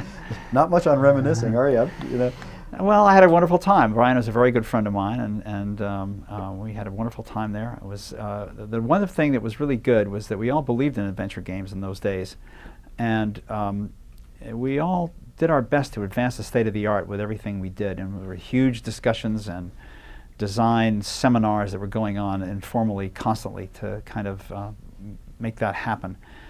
Um, I don't see that going on anymore, really, quite the way it did then. and where did where did SCUMM come into that? That was the SCUMM. was, the SCUMM was the underlying engine that had been developed about three or four projects earlier, and it kept evolving a little bit. But Right. Um, so uh, actually, one thing uh, I, I don't know that, that we've actually defined adventure game. I mean, do you? What do you mean when you say? when I when I think of an adventure game, I, I think of a story that, that it, it's it's it's driven by a story, and the task of the player is to open up that story and allow it to proceed by solving puzzles. and uh, you you've worked on on several of them. It seems like at some point the form just sort of I don't know if it stopped evolving, but it people Well, tend not to make them anymore. The What truth is, that's the only adventure game I ever did. Actually, wait. I guess that's kind of true, isn't it? I, um, my own personal taste was, is action adventure and, and RPGs. Where did you get this reputation then? I don't know. Well, well, it's a good one. no, no. I mean, no, no, no. It's not. It's just you. You. You're kind of thought of as an adventure game guy, and I'm I not know. actually sure why now. I know, and, and maybe that'll happen again because I've wor- been working on one recently. But um, the truth is, that's the only one that I ever did here. Uh, most of the other stuff I've done is what I think of as action adventure, or sometimes called character action. It's um, where you have story elements that are pretty strong, but you also have a world that's pretty coherent, and you can you can be at play in that world, and you can shoot the shit out of a lot of bad guys. Okay. Um, and and was that what you did in Big Sky Trooper? I mean, I, I'm, I'm curious about how Big. Sky Trooper is a sort of a li- lightweight RPG. Yeah. So, th- you shoot a lot of things called slugs, these little green jelly-like creatures, and they they come in varieties. They they they um, they're graded, like, like little one-eyed guys. And when you shoot them, they pop, and that's it for them. If they're if they have two eyes, you shoot them, and they they they bud and divide into two one-eyed guys, and you still got to get the one-eyed guys. And the really bad ones have like five eyes, and you shoot them, and there's like a three and a two out of the deal. It's like atomic fission. That's that's great design. I mean, we've talked about that a couple of times now with uh, great player feedback. I mean, you, you kind Well, of know what's going to happen when you when you attack. Exactly. But on top of that, I also had, had intuitively knew even then what has now become one of our rules of thumb, which is that you can't. Uh, this is kind of due to Dan Arey. You can't just vary your, your, your monsters and your evil bad guys by degree. You have to have different kinds as well. So of course we had bosses to go along with that. you know, I'm going to completely break out of chronology here for just a second. That's one of our rules. That that obviously brings to mind the 400 project. Yeah, Uh, Hal and Noah Noah Falstein have been working for a while now, since 2000, 2001, 2001. on on creating what is in essence a language uh, or a lexicon at least of game design. That's the hope. We're not especially energetic at pursuing it, and don't have a lot of other people uh, that have jumped on the bandwagon. So um, Uh, it's it's languishing a little bit, but we've got more than hundred of these things codified now. So, uh, what what was the genesis of that that project? I mean, we're we're Well, jumping way ahead here now. Yeah, and this started in 2001. I, I've given a number of talks at the Game Developers Conference out west, and uh, I was on the advisory board of that organization for 10 years. So I sort of had an inside track, and I, I have an interest in sort of you know, peculiar subject matter, I guess, and I thought it would be very interesting to talk about um, how we go about summarizing what we know in a way that's productive so we can actually do stuff and we actually build games. And we're not critics we're trying to make them. And, and how do we do it? Well the human brain is an extremely powerful instrument and we can use it to reason our way to the solution of a lot of the problems that we face. But the problems that we face are so enormous in number and difficulty that we really aren't that good at being able to actually reason everything out. And instead we secretly rely on a lot of rules of thumb some of those rules are actual explicitly known to us, and some of them are only tacitly known. And I believe that they, these rules are the substance of um, productive knowledge in game design and conceal in their surface uh, stupidity um, deep wisdom. And that, uh, and in this respect, we are very similar to almost all the other arts, and including engineering, for example, and so on, where you always have tons of rules of thumb. You know, how, how, what's, the over, what's the overload a bridge must be built to withstand? You know, is, is it, is it uh, 100, uh, 100% over or 50% over? There's some rule that people have decided is good engineering practice. It's not theory. It's just, um, the, the, uh, you know, bridges fell down, and then if you did the overload right, they didn't. And okay, that's the rule. I learned recently. I, I, I love to collect these things. Um, for example, in improv theater, how do those guys do it? You know, it just seems like magic. And yet you realize they do it night after night, so they must have some techniques. Well, one of the fundamental techniques is accept all suggestions. So that, for example, if, uh, if I propose to you and you're my fellow improv guy, I say, let's get out of the corner and beat up that uh, homeless guy. And you say, oh, God, no, that would be terrible. Well, there goes the act. We can't go any further. But if you say, you know, that sounds like a good idea, God, that's weird. Okay, now we can go somewhere. And um, the most recent rule that I, I discovered is in the, in the world of stopping asteroids from colliding with Earth. If you want to stop an asteroid from colliding with Earth, the rule of thumb is you have to change its velocity by one millimeter a second 10 years before it's going to hit the Earth to, in order to be able to move it aside one Earth radius. That's the rule of thumb. Okay, so to make a game, I have to move my lead programmer one degree away from what he actually wants to do. Uh, I'll be these okay. rules don't have too Ten much- years before the game ships. Uh, Ah. okay. I guess the, if, if there's a rule of thumb in our group that, that it's not really in there actually, but the, the, the, the- if a rule is in there that has anything to do with programming, it would be never believe a programmer who tells you it will take two weeks to do whatever it is he's telling you it will do. God, that is so true. Two weeks is the standard answer for to every question when you talk to programmers. Sorry, programmers, you know it. You know I'm right. how, how long will it take to get that Denver uh, baggage thing going? Uh, two weeks. You know. Yeah, yeah. Um, so, uh, what, what were some of the inspirations for this? I mean, uh, I've Well, heard you I- talk about linguistics. And yeah, I'm, I'm very. I, I'm, I read a lot of science books and and um, have a, have an interest in all this stuff, and, and I'm I'm very interested in the fact that we can uh, deploy our minds to attack these problems with with a, great deal of um, you know uh, deep focus and how to get these things solved. And yet, I realize that running around in my own head, when I get myself in trouble in a design problem, I find myself reaching back to some something that I, I either know worked or I saw worked somewhere else, and then I will then do a trope on that or whatever, you know. And you realize, oh, you know, we we don't necessarily just think everything out from ground zero to completion every time, and uh, no one else does either. The architects don't do it, the um, journalists don't do it. I mean, yes, journalists have to learn a lot of deep things about their um, their craft, but a journalist, the very first thing he learns is put who, what, why, when, where in the lead paragraph, and that's a rule of thumb. So. And in the in the first talk you, you gave about this, you, you it was uh, four of the 400. Right. I I also believe that what's going on is that when we design games, uh, um, four of the 400 was the was the talk that set this off and, and got me interested. I was I was also reacting to someone um, that you know, Doug Church, uh, with his formal abstract design tools, which I don't believe in at all. I think they're worthless. Excellent. So um, um, uh, nobody should ever. You, they're just unusable. They'll never be usable. And I was reacting against that, but I also I was also thinking that the world is discovery. So, for example, in the in the world of film, uh, it was there was a discovery that cuts would work. There, were- it- but it's hard to realize this now. But back in 1895 or in 1900 or so, there was a, a solid body of theorists who believed that the only proper movie is you turn the camera on, the actors go and do what they do, the film runs out, that's your movie. And other people thought, you know, uh, if you do the bust of a, of a human being, nobody is too disturbed that you didn't do the whole body.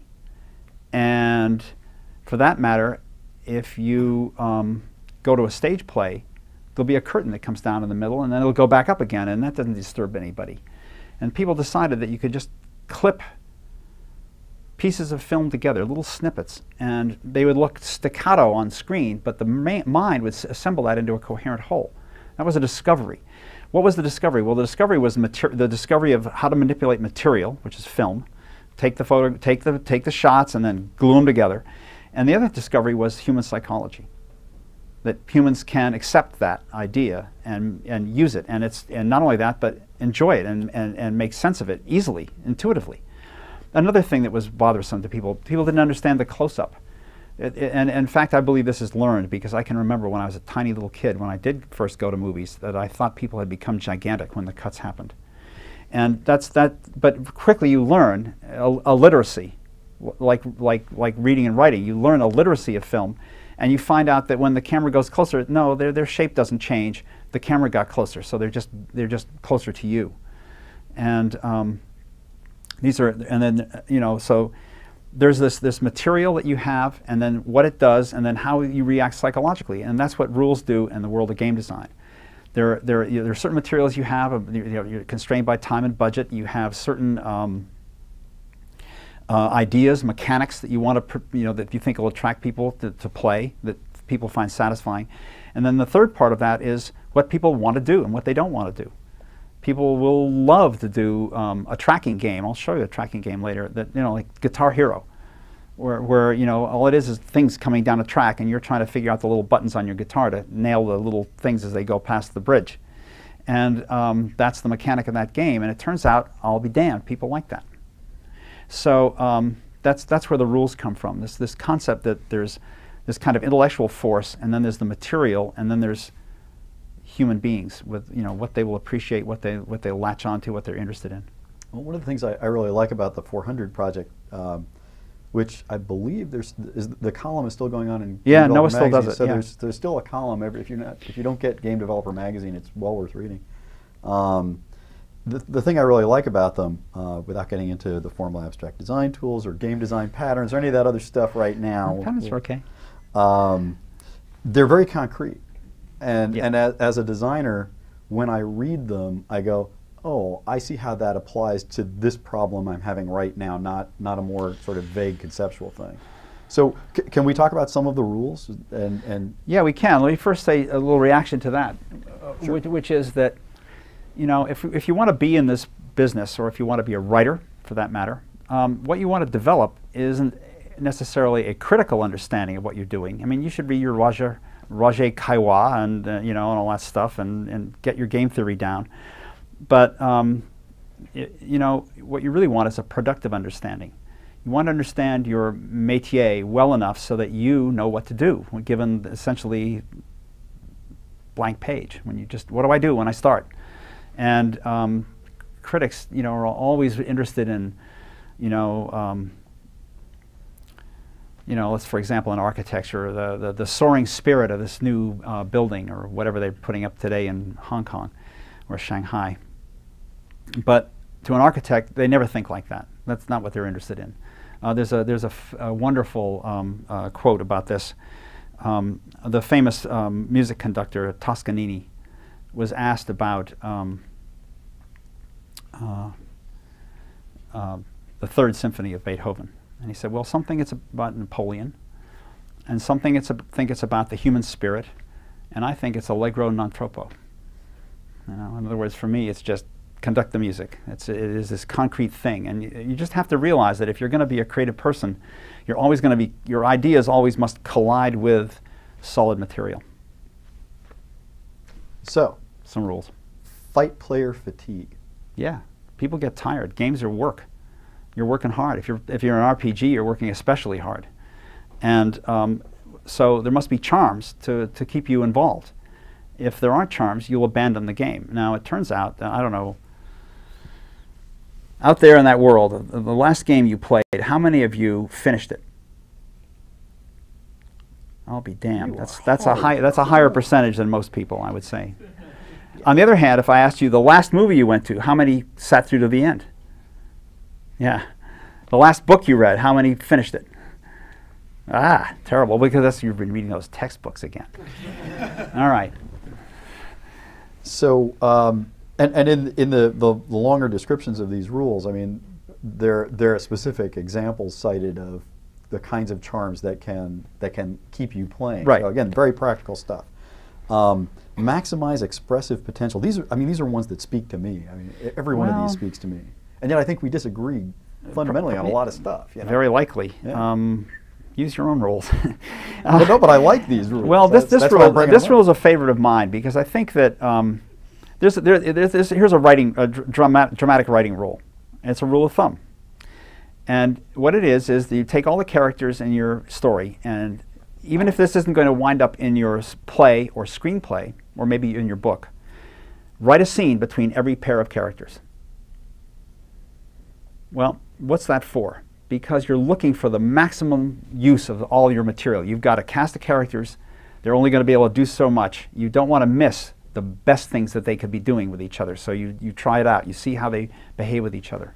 And that's what's going on. I mean, you need to look at all the things you could do when if you've got a mechanic that is like, uh, let's say a platform. Let's say it's like Rayman. You know, you're doing a platformer. You know, this is the, the, the great, the greatest platformer ever. The, the, um, the second one, the first 3D one. And okay, how does Ancel get the most platforming out of that guy? You know, all the little, all the little bouncing rock things, all the little surfboard things that he does that, that, that, that make that thing work. That's his way of ex- taking all the juice and getting it out of the orange, which is the idea. Uh, and if you don't, I'm sorry, and just to be, to go one thing further, it, it's worthwhile keeping these things in mind consciously because otherwise you don't pay attention and you don't do that. And it's not necessarily intuitive. You sometimes have to really stretch to be able to kind of find the stuff. Maintain level of abstraction. Ah, yes, yes. Um, if you're doing a little game like Big Sky Trooper, which is a, a SNES game, and um, you're dealing with a controller and you're dealing with uh, a game that was purchased by mom, played by a child, and um, if the thing doesn't work, mom will take it right back to the store and get her money back, as opposed to a computer game. And so the result is uh, not only that, but there aren't too many dots on the screen, and everything's kind of cute and cartoony. When you've got that sort of aesthetic, you can now have a very simplistic sort of dialogue system. Do you understand? Yes, no, click, on to the next thing. If you're doing a game such as the one that I'm currently working on right now, which is an adventure game, um, it's, a, it's a gritty, melodramatic uh, spy game um, about the famous uh, dancer and courtesan Mata Hari about uh, in the 10-year period before World War One. And it's all, it's all done with sort of very realistic-looking backgrounds and so forth. You just can't get away with that kind of dialogue. That, that, kind, that, that, that, that sort of um, abstract formality just doesn't work when you see you know perfectly formed human beings walking back and forth.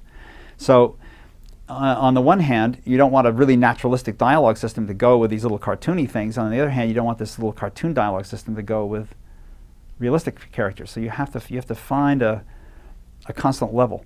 Uh, an allied rule of thumb in uh, writing a book, for example, is trying. You have to make a decision about how far in you will go to mental life. So, for example, if you read the Count of Monte Cristo, Dumas, there is no mental life. It's all just a series. It's like a 500-page screenplay of one vivid scene after another of uh, the adventures in that book. On the other hand, if you're a Nicholson Baker and you write the mezzanine, The entire book takes place where the guy's coming back from lunch where he went and bought a little trinket and he goes into the office building where he works and he gets on the escalator that takes him up to the mezzanine and 175 pages later he gets to the top. And the whole book is his mental life going up the escalator. so, you know, I mean, uh, th- that's kind of what I'm talking about. Okay. Um, Does that make sense? Totally, totally. Um, yeah, we, we i- i- okay.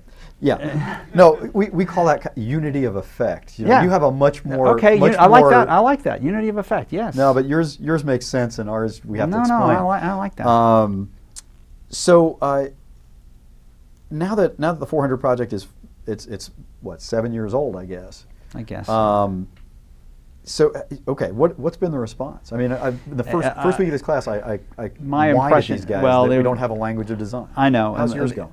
Well, uh, it, it's it's languishing. It's it's um, it proceeds by fits and starts. Noah tends the embers in the pages of Game Developer Magazine. We've got a spreadsheet up on our websites that you can download, um, and it, it has some of the uh, rules with their little 25 words or less description of what they mean and how you use them and. Um, uh, the attribution, of course, who thought them up and brought them to our attention, and um, what they trump. Because one of the things you learn about rules is they contradict each other, and they even con- sometimes contradict themselves. And so you have to understand domain. This rule applies in this domain, but not others. Or you have to also understand if you have two rules, you know which one wins. You know because they um, rules are not terribly consistent, and rules are, are by nature, um, as you know. Um,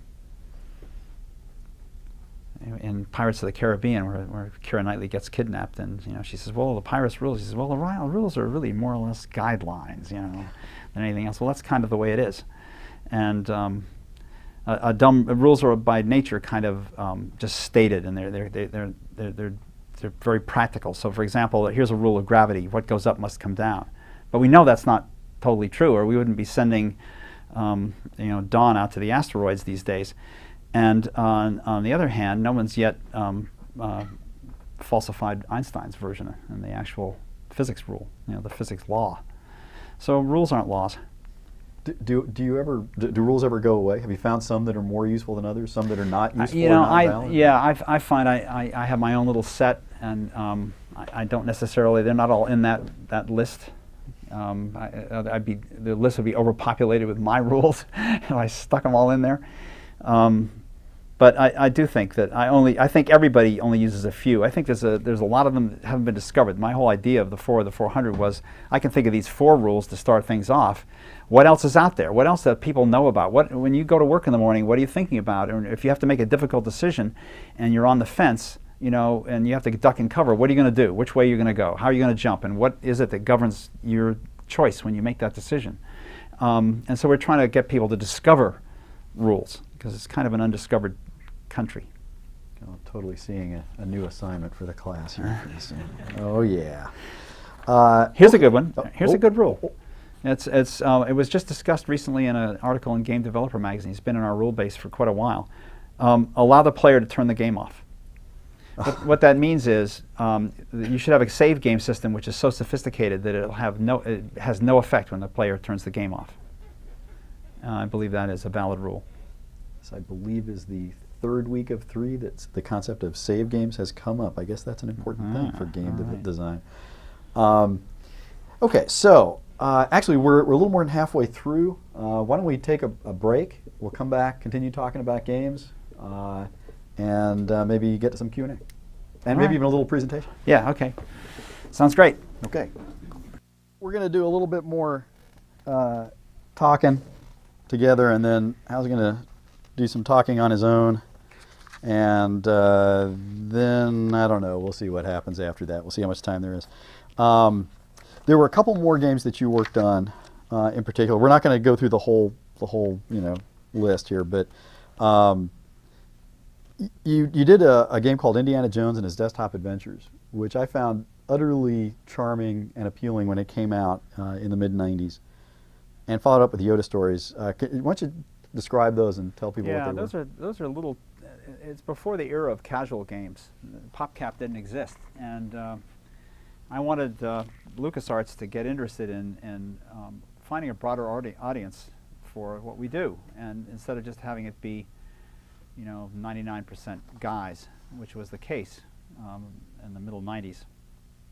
I think uh, Fate of Atlantis had the largest uh, female um, um, player base of any game we ever made at, at Lucas, and it was like 5% or 6% or something like that of returned cards.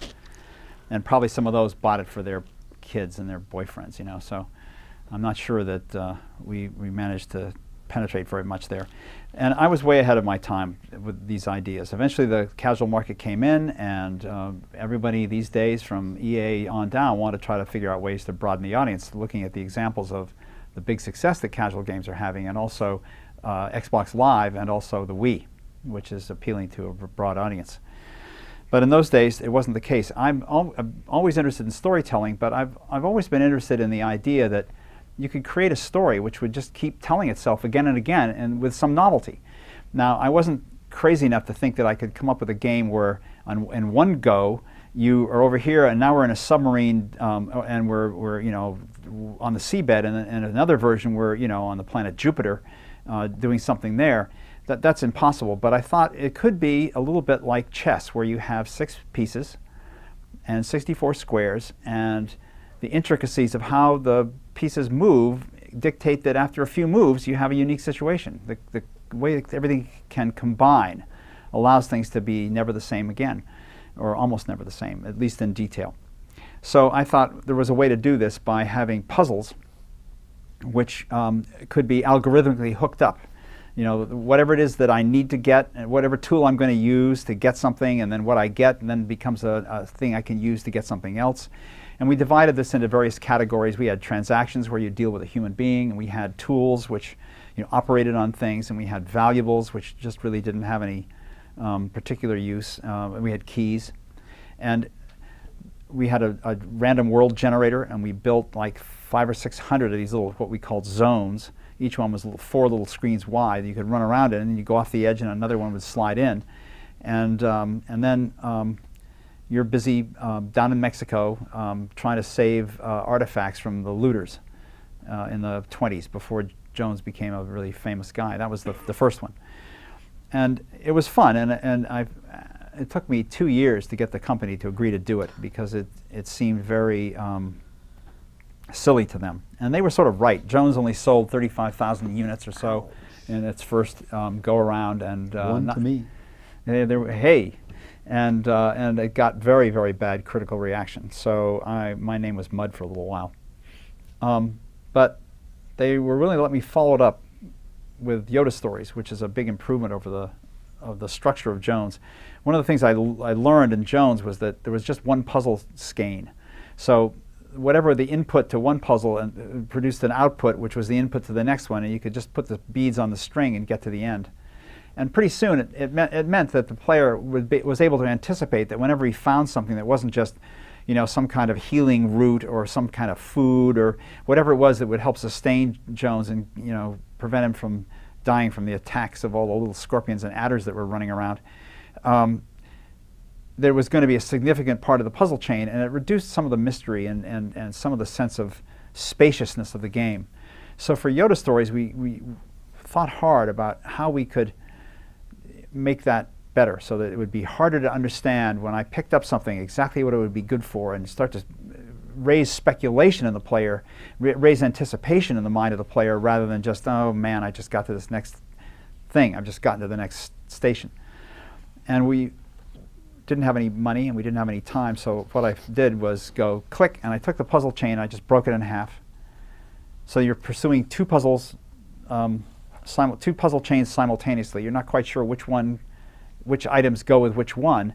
And all we did is at the very end, when you get to the boss levels, we did a double gate. So you need two different things to get through to deal with the final boss. That seemed to work much better. Uh, Yoda Stories also sold really well. We just sold a, just a gazoo, tons and tons of those things. So that was good. And um, I'm very, I'm, I'm very interested in the fact that, that there's kind of a story. There's 15 scenarios and Yoda also, there were 15 in the Jones game, but they were all completely disconnected. And the only thing that held them together was the, the you know operating out of a little uh, village in Mexico.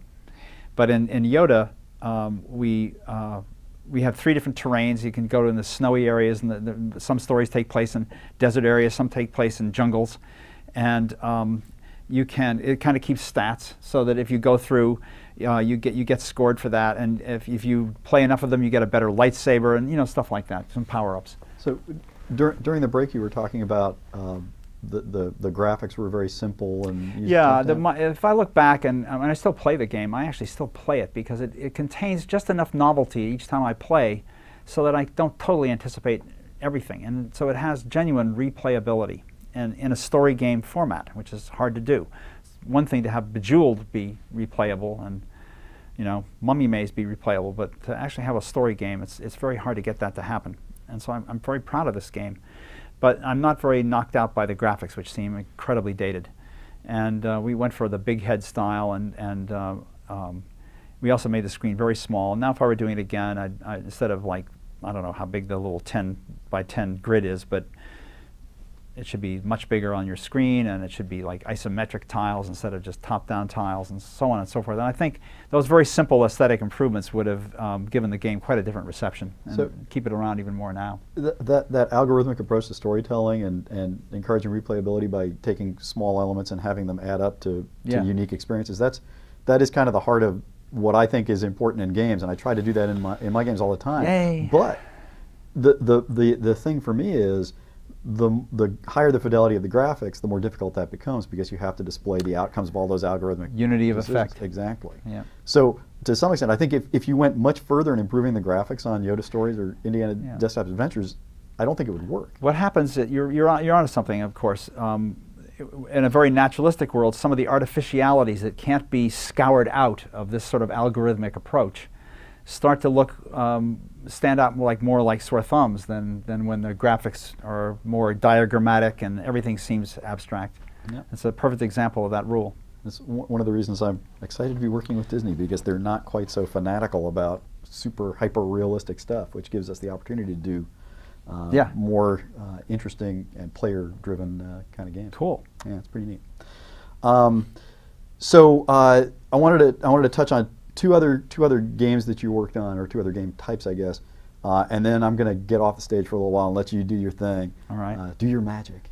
Um, but uh, in, in whatever order you, you think is appropriate, uh, we really need to talk about Mata Hari, the project you're working on now. Let's do that last. Okay, and uh, the, the the casual games. I mean, one of the things you, that I think you're going to talk about Yeah. after I get out of here and let you do your thing. Well, I'm very- is uh, I'm in- very- smaller casual games. Yeah, I'm interested in little games. Um, I, I, uh, the, the last game I did at, at, at Lucas, um, I was on that project for 39 months, three years and, and uh, three months. I was creative on that project for about six months, and then I was a management droid for three years. Um, that's tough. I don't like to do that. I, I'm impatient. Um, patience is, is, is a virtue, but it's not a very big virtue. Otherwise, I'd be dead. But, um, anyway, um, so little games. I like quick projects, and, and, and little games allow me to do some of that. And um, I'm very interested in the, in the, in the casual game phenomenon. I, I like. I, myself am drawn to games, but I am not a fanatical uh, person. I'll never play Halo. Um, or Half-Life for that matter. Uh, the, the games like that that I just don't attract me. Um, I'm not going to obsess over my 55th level, um, whatever the hell in World of Warcraft either. So that's kind of what's going on there.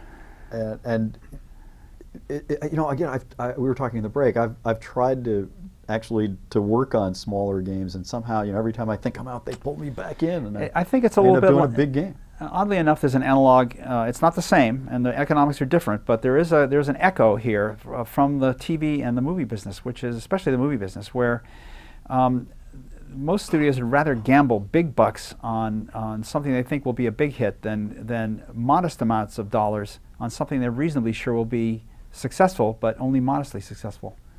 And uh, so that the, every now and then you get a Paul Haggis doing Crash, but it doesn't happen very often. And yeah, I run into that wall all the time. Yeah. Um, so let's turn to Mata Hari. Okay. uh, and, and talk about that. Well, Three interesting things there that I don't quite understand. So you're gonna have to run through them for me. Tell me what they are. Uh, a new approach to dialogue. I'm always interested in that because we are still stuck in 1992, near as. I can tell. And if you got the next big thing, I want you to spill your beans. We have here. a thing. I don't know if it's big. Well, well, if I can steal it, I'm stealing it. And Please. it's not uh, patented, copyright, or anything. the concept of tokens. Yep. You mentioned that in an interview, and I don't get that. Well, you will. And uh, it, what was the last one? Oh my gosh! Um, oh, the, the, you're tracking multiple Oh, scores. scores. So that's an interesting thing to me. Venture games are alive and well in Germany.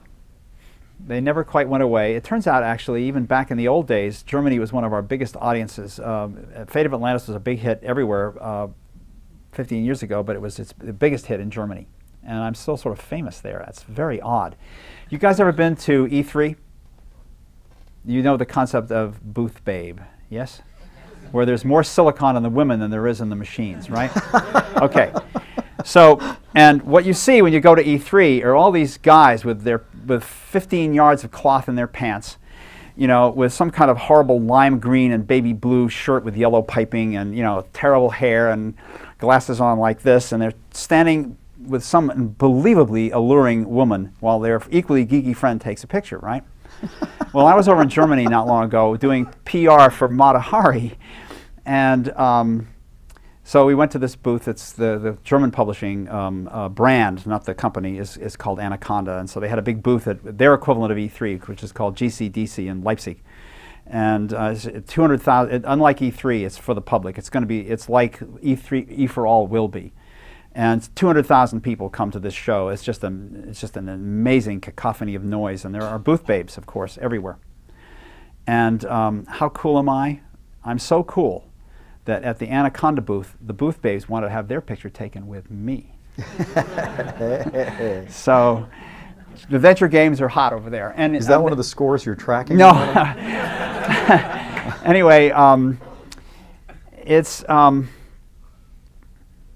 it's a classic adventure game, but the problem is that uh, Germany is a perfectly first world country, and the money that they make over there is at least what we make, and uh, probably in, in denominated in numbers. And of course, euros are worth a dollar forty now. So, wow, they, they, they do okay. And um, and yet they actually tackle projects that you would spend five times as much on here in, in the United States. And they do these adventure games for amazingly low amounts of money. How do they do it? Well, at Lucas, when I was there, we had uh, a company of about 400 people. About about 200 were actually active developers, and of that 200, uh, at least 100 were hardly able to do their jobs. And when you go to a studio, a small studio, like for example Rob Huebner's little studio up in Marin now, Nihilistic, or if you go to Germany where they have little studios, um, and there are very few people there, 100% of the people there know what they're supposed to be doing, because the, the, the, everything would collapse if that weren't true. So it's a, it's a big deal, and um, so they, they actually tackle these projects that you wouldn't dream of tackling here. And nevertheless, they're heavily budget constrained. So let's get to the scoring thing first. There's just not enough material that we can put in a game and get it done that um, by itself would, would, would, would constitute a totally full-fledged puzzle game. So we decided to introduce very vaguely some RPG-ish sort of ideas, just to kind of, for the completist player, the player who just wants to obsess over every little possible detail. And we introduced three, three factors. Um, if you solve the puzzles um, first time through, pretty much, and you have very few um, backtracking uh, episodes that you have to do, we, we, we, we um, track that, and you have a skill score.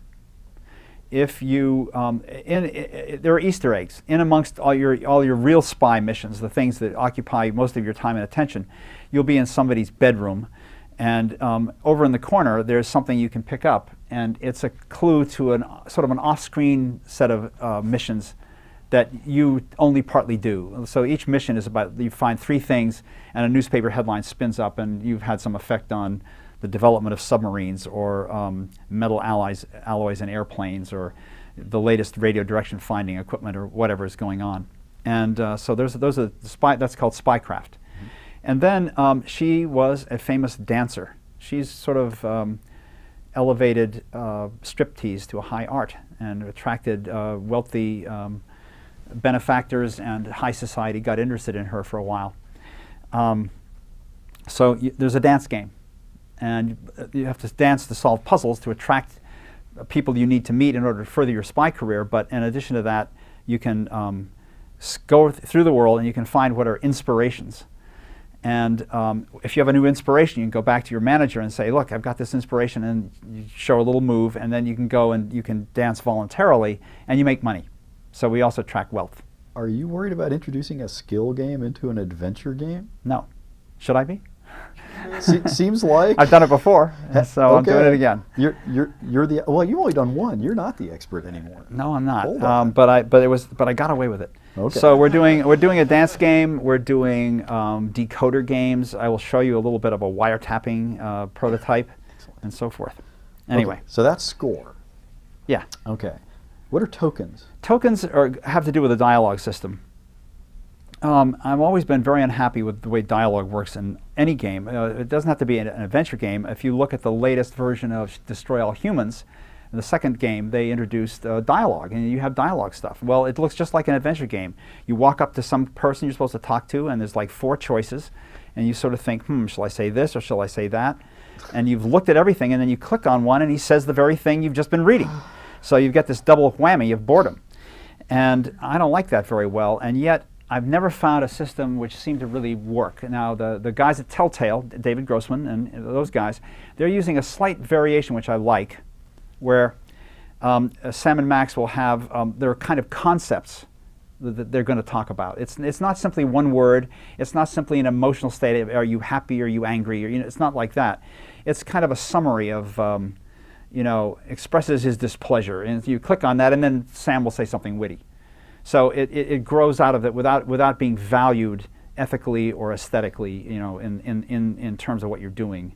You know, do something evil, do something good, you know, it, or say something, say something shocking, you know, nothing like that. It's just a little, dis- sort of a description of what you might say, but when you click, you get a more full-flowered version. And that's not bad. And we've had conversations about that sort of thing. But what I really like is something that I introduced. I got the idea originally from Brian Moriarty, who was wanted to use it in uh, a game that was going to be made called The Dig at, at, uh, at LucasArts. He never finished that game, and it sort of lay there. I, I used a similar system in Big Sky Trooper, where you need to, you have a spirit guide named Fido, this little funny dog guy. It was up on a big display screen in your ship, and you can propose topics to talk to him by playing tokens. And what it is, is the idea is that if you're in an adventure game, or for that matter, it can be an RPG or whatever, where you have a, to get through a locked door, you must find the key. So let's take the very simplest kind of puzzle. You find the key, now you have an item. And in general, the way um, modern interfaces work, it's all point and click. So you pick up the item, and it becomes your cursor, and you go over and you drop it on the locked door, and ka-chunk, now you're in. And that's a solid item. But then when you go talk to somebody, bing, up come all the dialogue choices.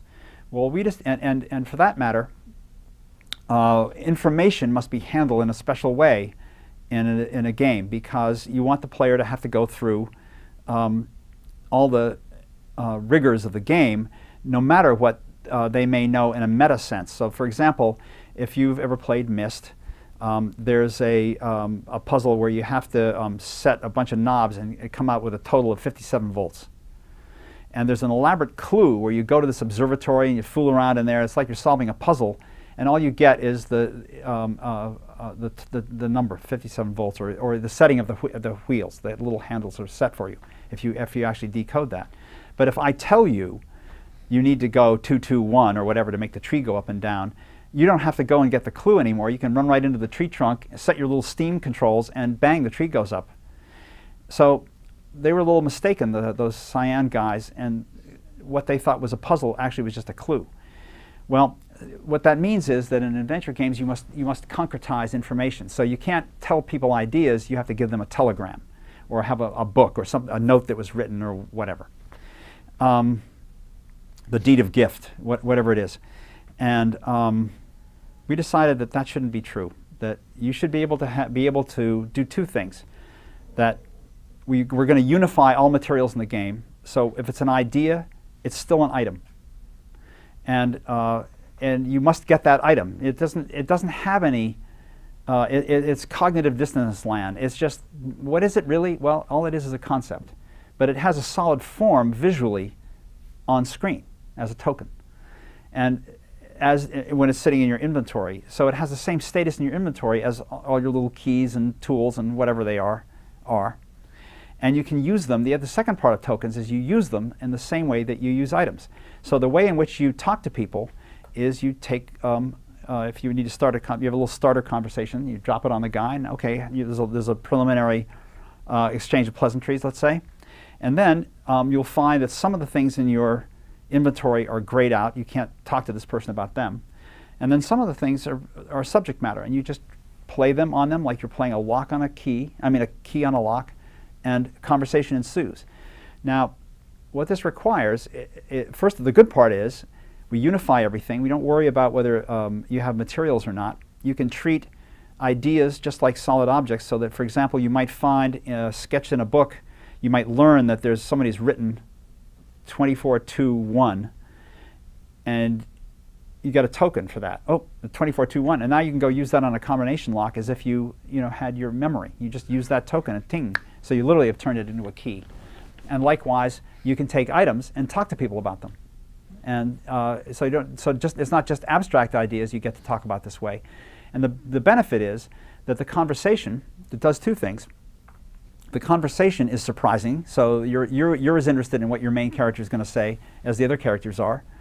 And you know her, and you know sort of how she's going to react, and she'll never betray you. This is a, an important point you have to actually take care of. But um, you don't really quite know how she's going to handle a situation. You just know you can try this out and let's see what she does, what she comes up with. So you have a lot of fun with um, this third person character. This would never work in a first person game. But with Mata Hari, it's great.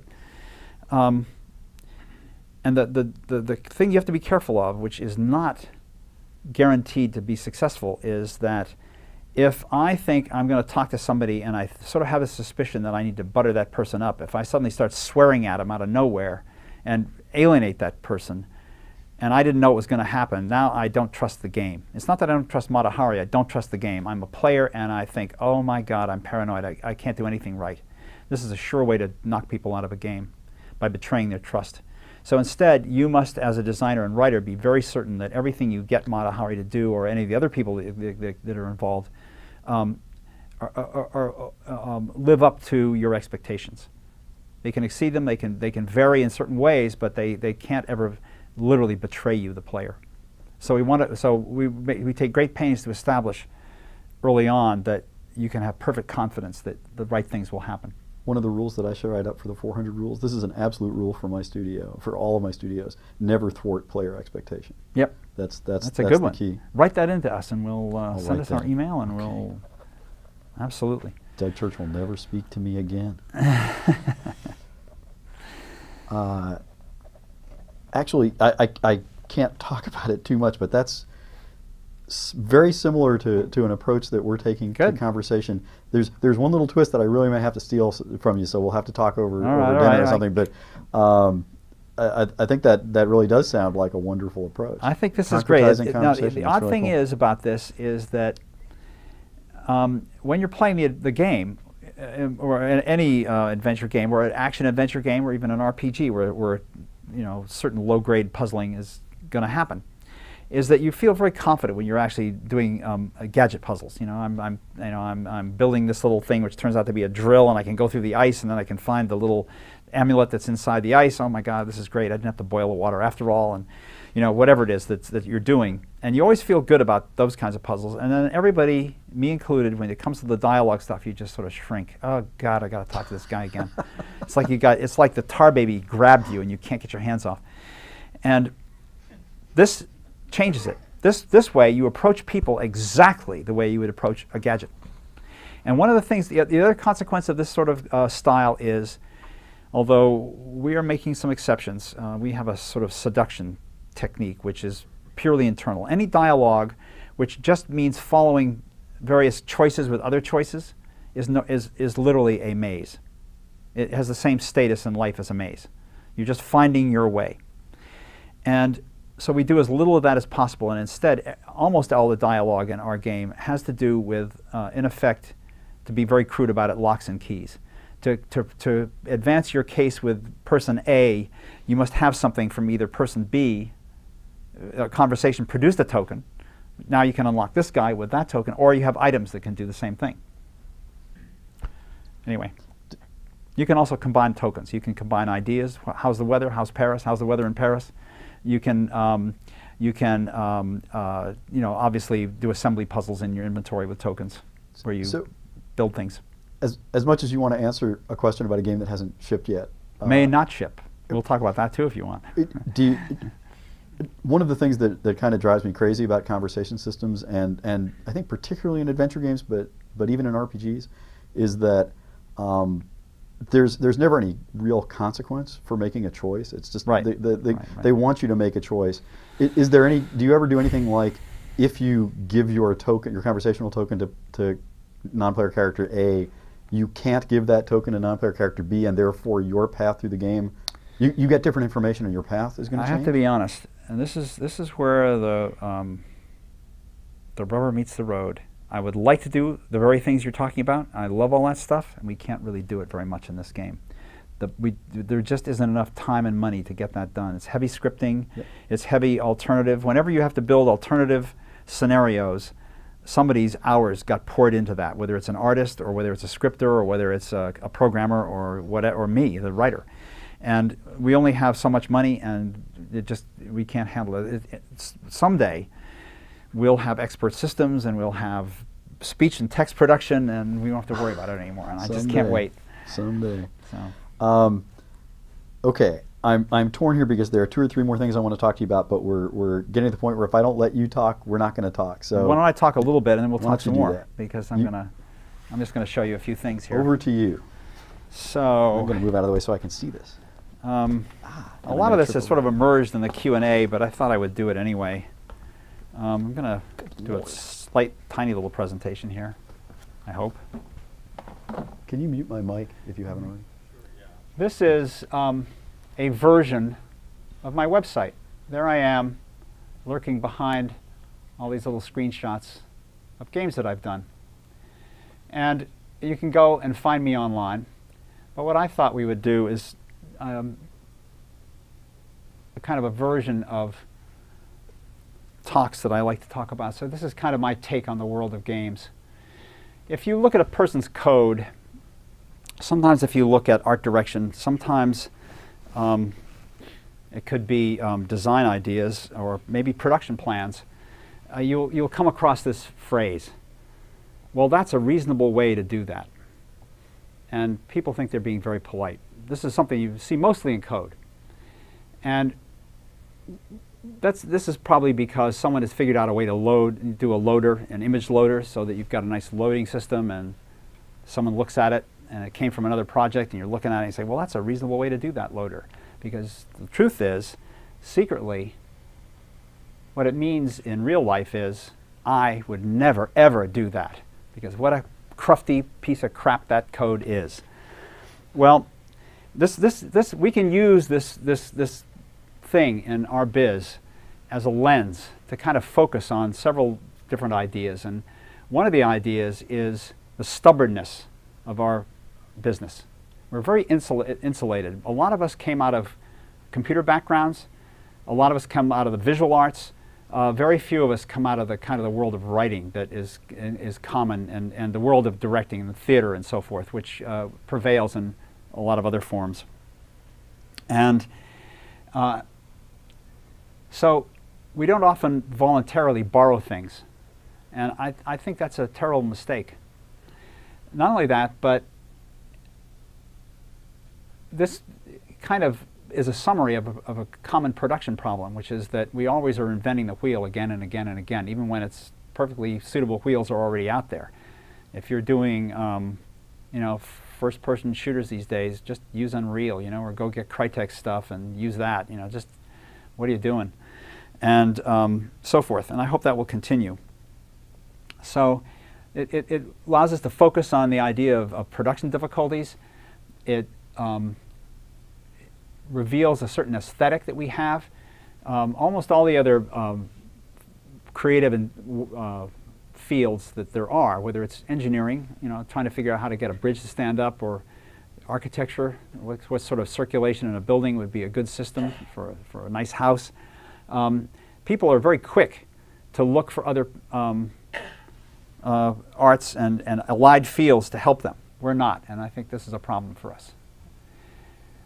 Just so you know, I'm a big believer in narrative. Uh, this debate, debate never goes away at GDC every year. There are practically fistfights, and, and uh, of, you just can't tell stories in games. Well, um, you know, it's kind of like in uh, um, the, the movie, um, the first one, uh, War of the Worlds, where Gene Barry is down in the foxhole and uh, the, the, the, the agitated um, military commander looking at these ships out there says, you know, they come down and, and, and one, and then magnetically they, they come together and they, then they form threes and then they sweep through. Tell me, doctor, is that possible? And the scientist, Gene Barry, says, well, if they do it, it is. And, uh, you know, it's impossible, but we do it. So I, think, I don't think we should worry too much. And just so you know, I think it's worthwhile parsing out what's, what narrative means. There are, there are in my mind, three sort of distinct kinds. There are chronicles. That's the sort of thing that happens in Worlds of Warcraft, or, um, or for that matter, um, almost any online uh, uh, uh, group game. And, um, and for that matter, to some degree, in a game like Vice City, um, where you're kind of telling your own story. And the events that the history, the virtual history of your progress through a game seems like a story in the same sense that you know the chronicle of the you know the king of England would seem like a real story. And then beyond that there are there are mission games.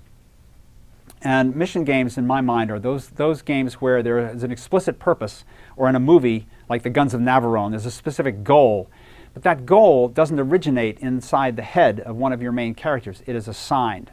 So there is no character who's making a dramatic choice. And finally, there are full bloated uh, stories where the, um, the whole set of events is propelled by uh, the choice that's made by one of the characters. In recent years, um, uh, a wonderful game that's unfortunately was not a big hit, but is just really good called Ico is a perfect example of this, where you know, this little kid who's um, kind of trapped in a, in a, in a funeral um, pavilion, and he's about 10 years old, and there's this young woman, a girl who's about 11 years old, trapped in a cage, and he says, I, I will get you out of this, princess. And the rest, of this, the rest of the game is about that. The entire game is a rescue. So um, I think it's also worth noting that all the arts are individual. They all have their own characteristics. They all have their own unique features. And you must develop expertise in, in anyone to be successful. But they overlap. And a lot of things that we, I think we can learn in our business from the other arts, whether it's um, architecture, if you're doing level design, or whether it's um, books, if you're just trying to tell stories, or uh, for that matter, um, uh, just the expertise that people have about particular phases of, of life. If you're directing a movie and you have to do gunplay, um, I, I actually have you know fired weapons quite a bit, so I know what to do. But I certainly wouldn't stand on the set um, and tell my actors how to hold um, their weapon, how to get into combat uh, crouch. I would hire an expert, a wrangler, who would come in and do that for me, and he would show that you, you don't do this anymore. It's this, and here's how you get yourself positioned, and so on and so forth. Um, anyway, it's, it's, a, it's an important thing because we would be a yard ahead if we would just look for expertise and make use of it. Um, as we've discussed at length, I'm just going to go by this very quickly. Um, I'm a big believer in, in rules of thumb, the practicalities of the of, the, of, of production and the practicalities of design supersede any theory that you can have. Um, here's something you're going to hear about. You guys are all going to go out in the world and maybe get jobs. And you're going to, you're going to come across this cliche there is no I in team. Well, you mostly hear this in teams like the military or football. And both of those teams, let's examine them. I think the military has ranks. There are, generals and, and privates and majors and, and, and so on. And football teams have coaches and they have quarterbacks, they have linebackers, they have offensive coordinators, and wideouts are different from uh, tight ends. Well, most of the teams that actually get anywhere are very highly structured, and we're a little bit of an exception to that. Um, a friend of mine, Lee Sheldon, makes a, the distinction between orchestras, which have conductors, and rock bands, which don't. Um, I'm a freelancer these days, and I, I hire out my services to various companies. And the very hardest thing it is for me to do, it's always the toughest part of any job, is to sit with the group that's hiring me and try to understand who's in charge and what the hell they want from me. Um, so watch out for this. Um, I think it's important to make little games. I'm going to show you just a few here. Um, I know you guys in this course, you can't really um, just sit down and do a lot of programming because it's just not possible. I suppose it would be possible for the course to be arranged around you know, some engine that you know has got a good editor and you can do mods all, all semester. That's probably not a great idea. But I think that on your own, you guys, uh, if you really want to get ahead, you ought to sit down and build some games. Because one of my rules is to make your material talk to you. And the paper isn't necessarily going to talk back in the same way that an actual thing will. Because you aren't going to invest as much effort. You're going to probably be involved with a few other people uh, and who knows who's got what responsibility and how much you actually do and how much when the hard decisions have to be made you feel that in your in your um, heart as to what what to, what to do. It'll help you learn your craft. And it will also teach you whether or not you have what it takes. I mean you're going to measure yourself. It's a it's always hard to do a game whether it's a tiny tiny little flash game or some huge game and not all of it's fun. Most of it is what i think of as joyful labor but it isn't always fun. And so you need to find out whether or not, when it's not fun, are you still interested? Or would you rather go write databases and uh, go and uh, do graphic design? Anyway, maybe we'll look at a few of these things. Um, just, um, just in case you guys want to find out more about me, you can find me at finitearts.com, halbarwood.com. They both go to the same place. So, let's put that aside and look at a trailer from my last game because it's um, essentially a commercial flop. I'm very fond of this game. It's a PS2 game, and uh, but it didn't sell too many copies. Let's see if it comes up on the right screen here. Yeah. Oh no. Hey. This decade is out of landing a man on the moon and returning him safely to the earth. It's one small step for man,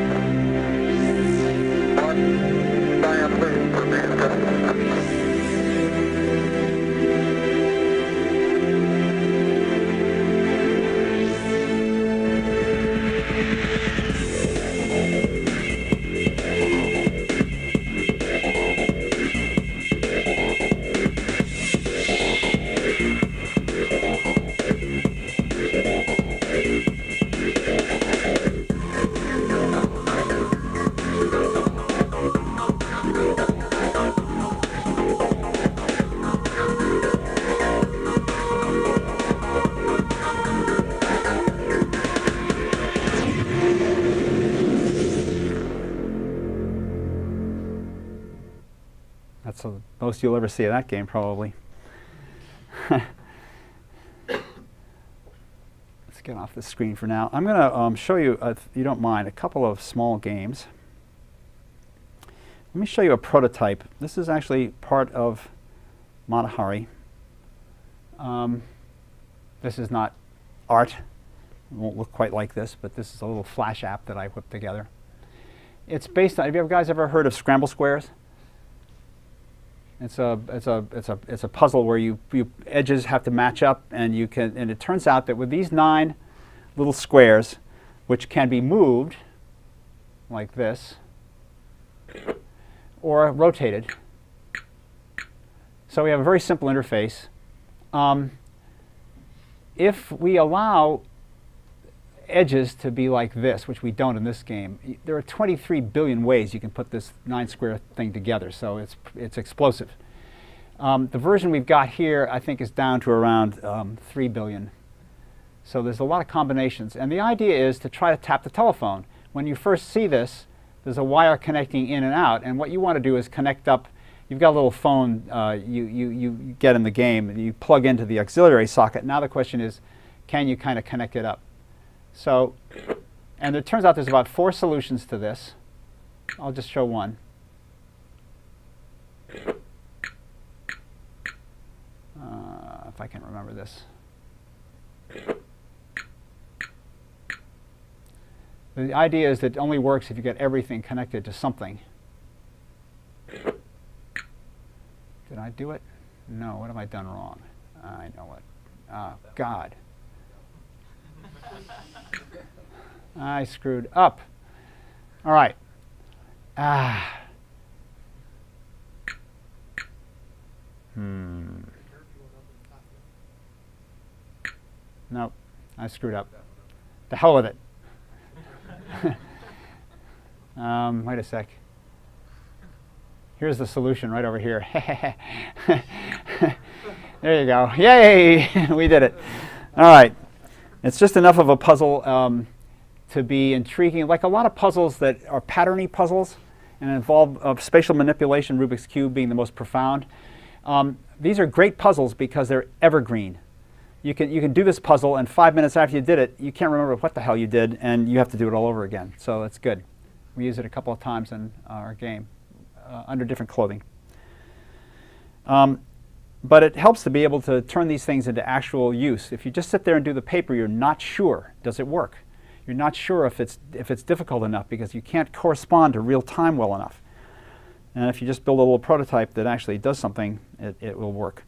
I'd like to show you um, my old Apple II game. These, this is sort of a, um, see if I can get this to go. Uh, okay, got to do a little bit of manipulation. This doesn't start. Here we have, I'm running Vista, and um, and yet my old Apple II lives on. It's amazing. So I'll show you. I, now it's funny because I thought, when I did this, I thought I actually had invented something. It turns out everybody invented it. It's called the cutscene. So here, here, here it is.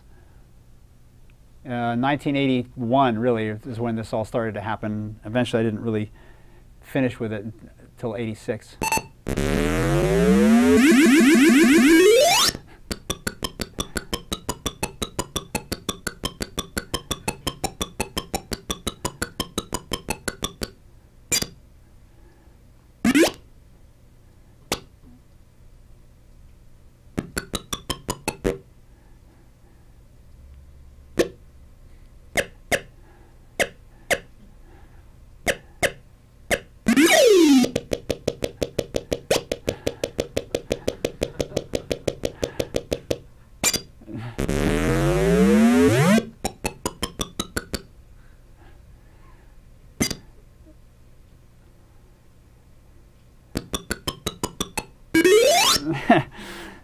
Actually I'll put a disc in and we'll just try very briefly um, to see what it looks like to actually play. Um,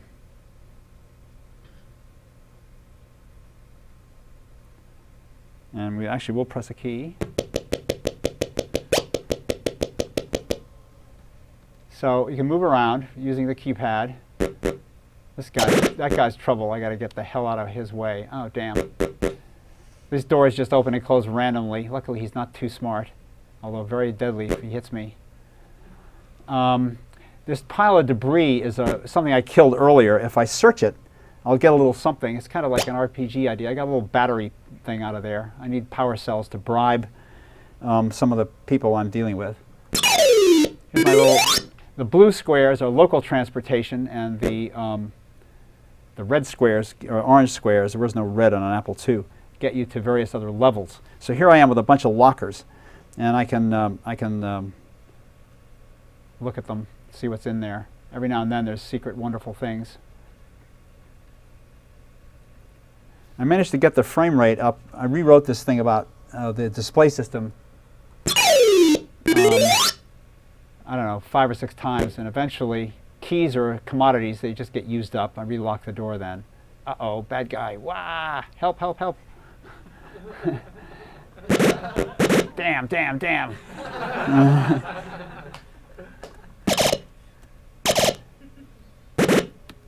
oh, crap. Ah! It's hard to shoot. I'm going to be, he's not going to kill me because I've got tons of, of stuff. In fact, I got almost everything I need. But anyway, oh, and, and uh, these little guys, uh, you can talk to them. Some of the robot guys on this ship are, um, Q, where are you? and some of them have little clues, some of them have nonsense, and some of them actually um, allow, uh, will, will give you information. Oh, damn it. Get away. Help, help, help. Quick. Quit while you're ahead. Anyway, 6502 assembly language from long ago. I ship games that didn't look that good, Uh, me too. I'm going to show you one more. Um, actually, I'm going to show you a little bit of Yoda stories. But um, yeah, let's do that next.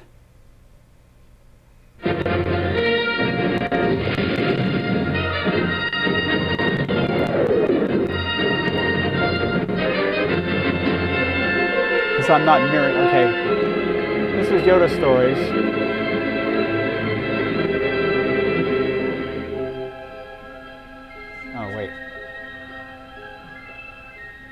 Let's do this again. It's more fun. Hey. Good God. Whoa. Oh. The dialog box is on my other screen. Sorry. It's not a crash.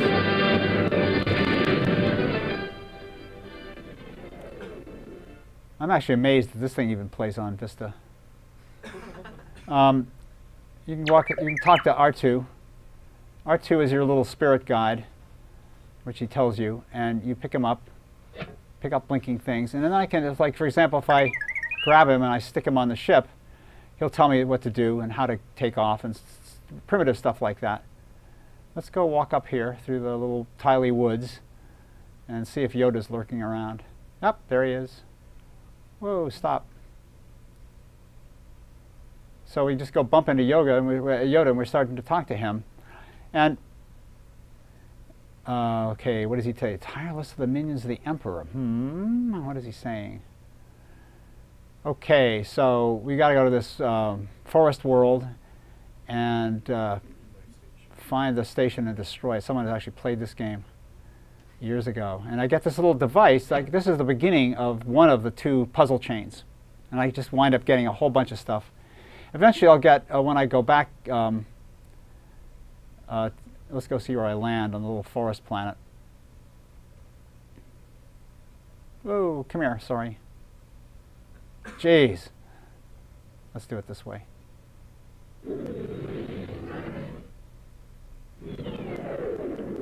And um, here I am with, oh, don't go there. Um, there's lots of little strange, oh, crap. Ah, sorry, my cursor's going nuts. Anyway, um, this particular story is going to take place here. If I wander around this immediate zone, I will eventually get what's called a locator. That's the very first thing I can get. It's always guaranteed to be in the first ring around my central area as I start. Once I have the locator, I can click on the locator and I get a map, which shows me which puzzles I've solved, which zones I've been to, which ones I haven't, and so forth. Um, this is actually just a really wonderful little game. It's a it's sort of an RPG. Um, go, Luke. Turn off. Oh, leave Yoda stories? Yes. And finally, I'm going to show you another little game. Um, and once I start showing it, I, will I'll have to sort of restart it. Whoops, come on.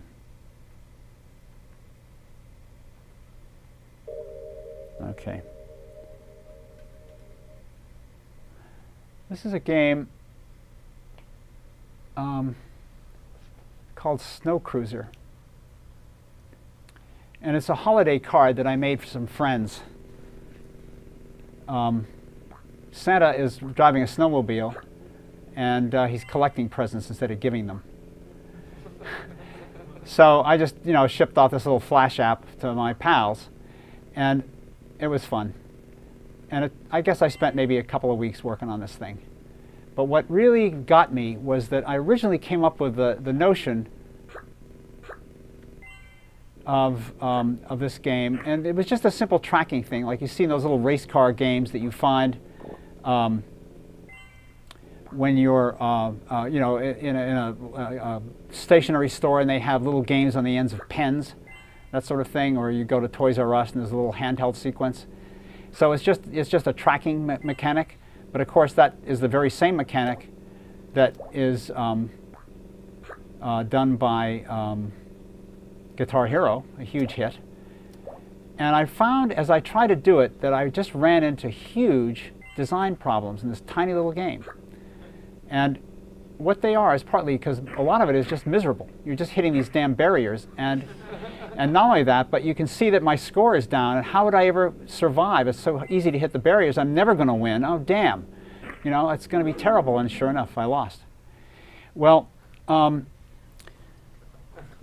so the first thing you have to worry about is the misery factor. That's one of the design problems that came up. But the other problem is that when I first got going, I just had it so that you could do the basics that you need to do, which is he was on the left edge of the screen where you'd see a lot of stuff, and um, you go up and down on the left. And this worked for while I was developing it because while I was developing it, my avatar was a little red rectangle, and it was just just a little abstract thing. And I thought, what the hell? Sure, fine. As soon as I made the little Santa with his little snowmobile and he's got his little beard flapping and all that stuff, and the treads are going, suddenly he became a real avatar and it felt enormously constricting that I could only go up and down. I wanted to go left and right. So, okay, so now I put a little bit of left and right in, but I didn't want to go too far because you can't see what's happening over there and you'll just get killed.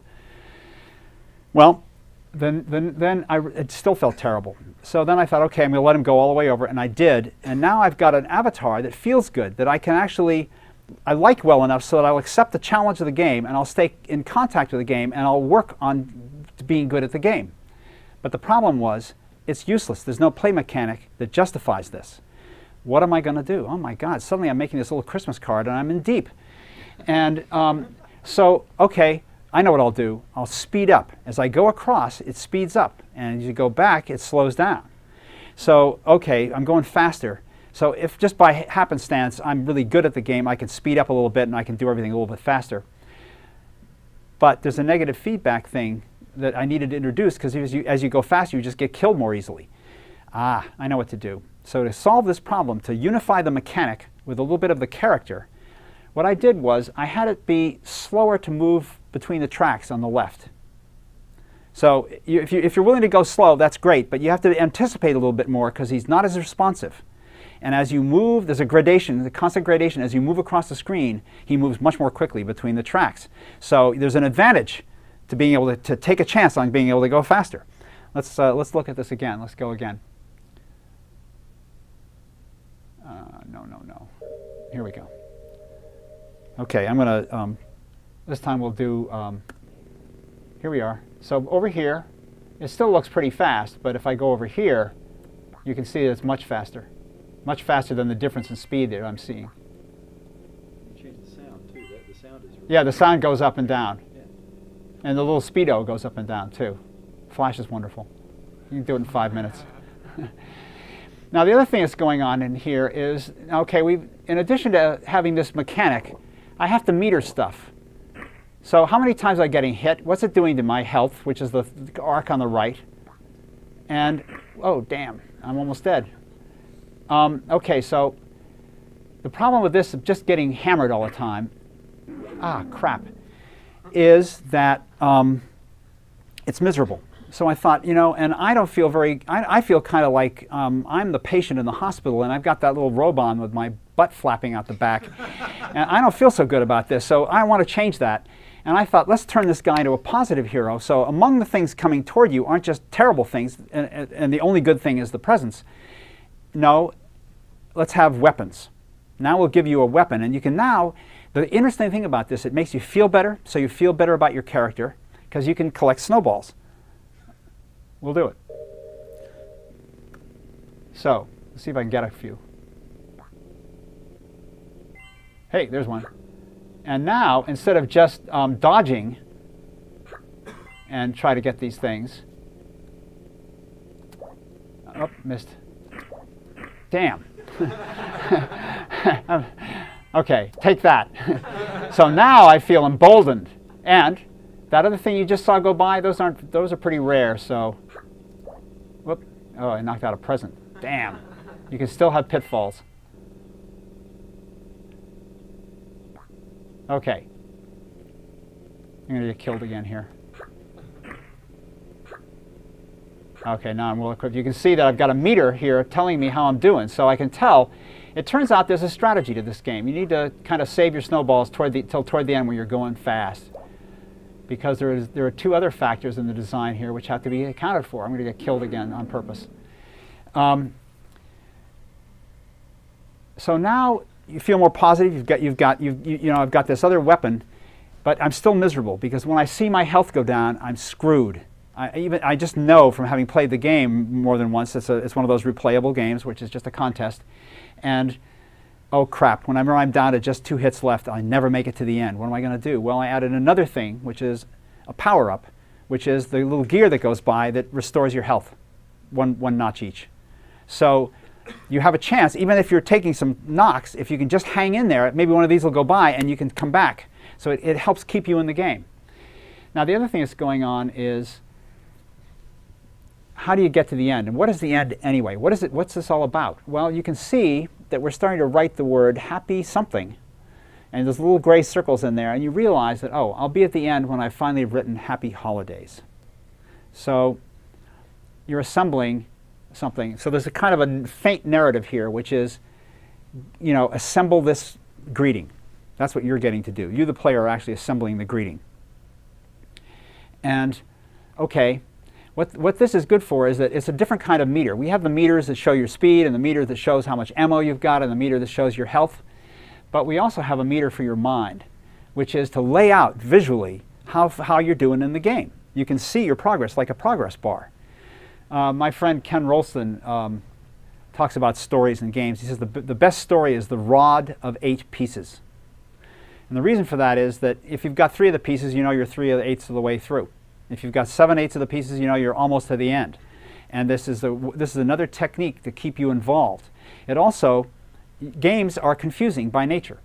If you allow a player to have freedom in the world you create, even if it's just a limited freedom of which track to choose, now he doesn't know exactly what's going to work. If you, if you watch an Indiana Jones movie, you don't really have to understand the movie very well because Indiana Jones, whether you understand his problems or not, is going to come out at the end with his hat on and, and live through it.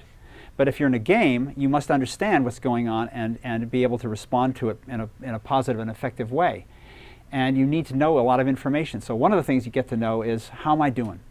How, how, how uh, you know, oh, oh, I got killed. Well, I got killed a little bit more than halfway through. That's pretty good. So I could start again and with some confidence. And there's one final little point about all this, which I'm going to go again with. Um, I'll exaggerate. I'm doing a little every time I get one of these now, it's going to speed up. And I'm doing this because of Mihaly Csikszentmihalyi. How many of you guys have read the book Flow? Okay, essential reading. Got to read it. It's a great book. He's the guy who found out that you can quantify happiness. You can find out what it is to be happy, and you can engineer it. And notice I'm going faster and faster. This is getting harder and harder and harder. So I better resort to my, um, my, ooh, oh, damn.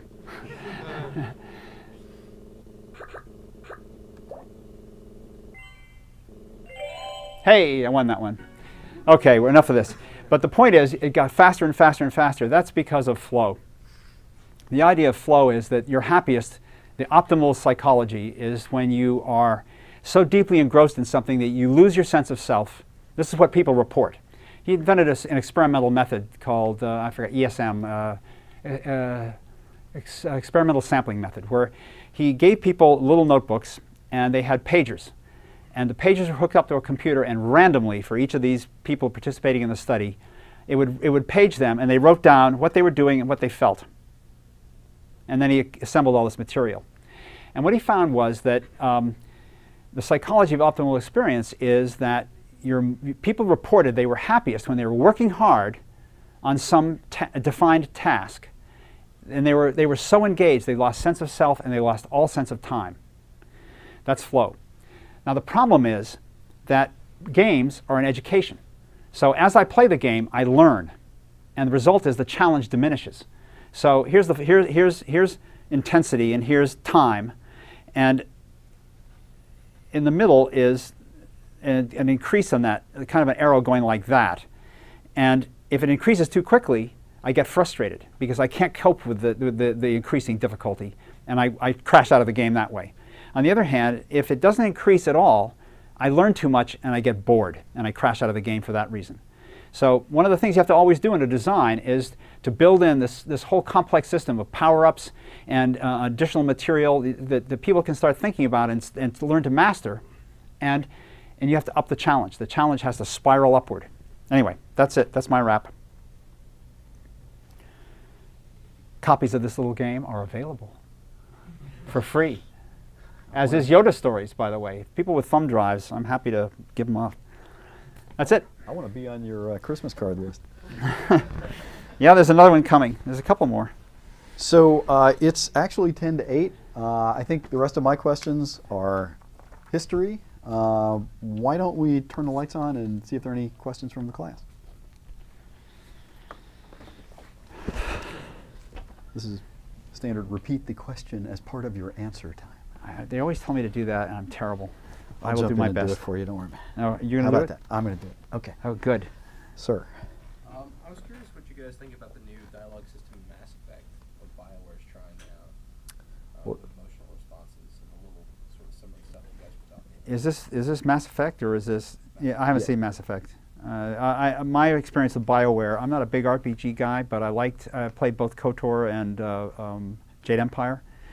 Uh, I just thought KOTOR uh, it got Game of the Year and everyone loves it, but I hated it. I just thought it was very very clunky, uh, very abstract, and and and Jade Empire is uh, several notches better. I, I like Jade Empire a lot except I'm not big on the, the foo stuff. So um, I, just the idea that every single thing you do, oh, we have this problem. It's like a soap opera, you know. It's like one damn thing after another. You just, oh no, he doesn't like me today. He's grumpy. So let's go in the ring and fight it out. You know, I mean, it, that seems completely divorced from purpose. So I, I don't go for things like that. Um, the dialogue system they used there was just totally standard. Pick the pick the choice and do it. So I, I'm very very curious to see Mass Effect. I haven't seen it yet. Sorry, can't answer it. What, what I've seen briefly, because the, the spotlight should be on him, not on me, is uh, it, it's a, an interesting uh, t- take on things. I mean, they're trying to make uh, conversation as action oriented and as, and as exciting and as visceral as uh, uh, and as, as time constrained as, as the you know sort of exploration and combat. game. It's very very interesting. follow-up answer. Um, you asked, uh, you know, what the, the emotional content thing. I'm very leery personally of emotion or, uh, or ethical ideas because um, ethics and emotion are extremely deep and they're complex and most of the time when we're writing things or, or, or entertained by these factors of hu- human psychology, um, i- i- it's, it's a pretty suave experience that we're having, and it's hard to get that to work in a game. So, for example, you take the game Fable, and I've forgotten where this happened, but somewhere, it's pretty near the beginning, you're running around this little village that looks like it came out of Dragonslayer, and you find out that somebody you know has been unfaithful to someone else. And, the, and, and Fable decides, you know, uh, uh, Peter decided that uh, it was a good idea that um, you should inform the person that this, this act of uh, betrayal had occurred. That was the good thing to do. And if you didn't do that, you were the, on the evil side. I ask you, was that the good thing to do? It's really hard to tell. And, it, and when I see a crude representation of morality like that, it just blows me right out of the game. So I have a lot of trouble with that stuff. And I, I never do anything like that in my dialogue systems. I, I just I think you have to let the player you know, feel for himself what's going on. You've actually said that uh, I don't know the exact quote, but deep characters are less important than environment in games, which kind of surprised me a little bit. Well, I mean, deep characters are nice, but it's very hard to. The deeper the character, the more awkward it gets in a game. I think the games thrive on fairly simple stories, as I'm learning as I crank out hundreds of pages of dialogue on my latest one. Um, uh, I think that my take on what character is in a game is that character is. It's, it's wrong to think of character as, as Hamlet. You know, this, this guy who we're all curious as to why he's so torn about getting rid of the usurping king, right? That, that's, the, that's the deep psychological thing that keeps us in that, in that play. And um, that's not the kind of character we have in games. In games, we have the character we have is Spider-Man's web. That's character. You know, he can, he can skyhook. That, that, that's character as far as the game is concerned. Uh, Indiana Jones is a good example because uh, I've done a lot of that stuff. There's like three or four characteristics. One of the things is have good credentials if you're going to be in a story, it's a big important part in a game in, to have character which places you in the action. So that Indiana Jones is a professor, he speaks 12 languages, he goes on archaeological digs, he's perfectly positioned to go after treasures and you know, hobnob it up with evil, uh, evil Nazis. Um, but he also has you know, his fist and his pistol and his whip. And that's the important functional thing that Indy's got when it comes to a game. It's not whether he in, internally is you know greedy or, or, or, righteous or idealistic. It's just whether he can whack you and take your weapon away by cracking his whip. So I guess that's what I really mean there. And I think the other thing that's going on is that in a, in a, in a movie, uh, a good example of this is uh, The Mountain. Uh, Spencer Tracy and uh, uh, one of the guys sitting at Dr. Evil's table. Who is that guy? anyway, um, um, are these two mountain climbers, and it's there's a plane wreck up in the mountains, and uh, th these two guys go up, and when they get up there, uh, you know, there's, there's, all this sports tension as they're climbing the sheer face of the, the Eiger. Wagner. Pardon? Robert Wagner. Robert Wagner. Hey, okay, so Robert Wagner and Spencer Film Tracy. geek used to find the mistakes in Filmgoer's Companion. Thank all you very right, much. Okay, okay, all right. So you're going up the, you're going up the mountain, and it's really hard, and you're putting your pitons in, and the music is, you know, uh oh, uh oh, uh oh that's you call that sports tension. But the actual the, the, the, director's smart. He knows you can't get away with that in a movie. So what he's really going on is when you get up there to the airplane, you find there's a treasure on board, and there's one survivor.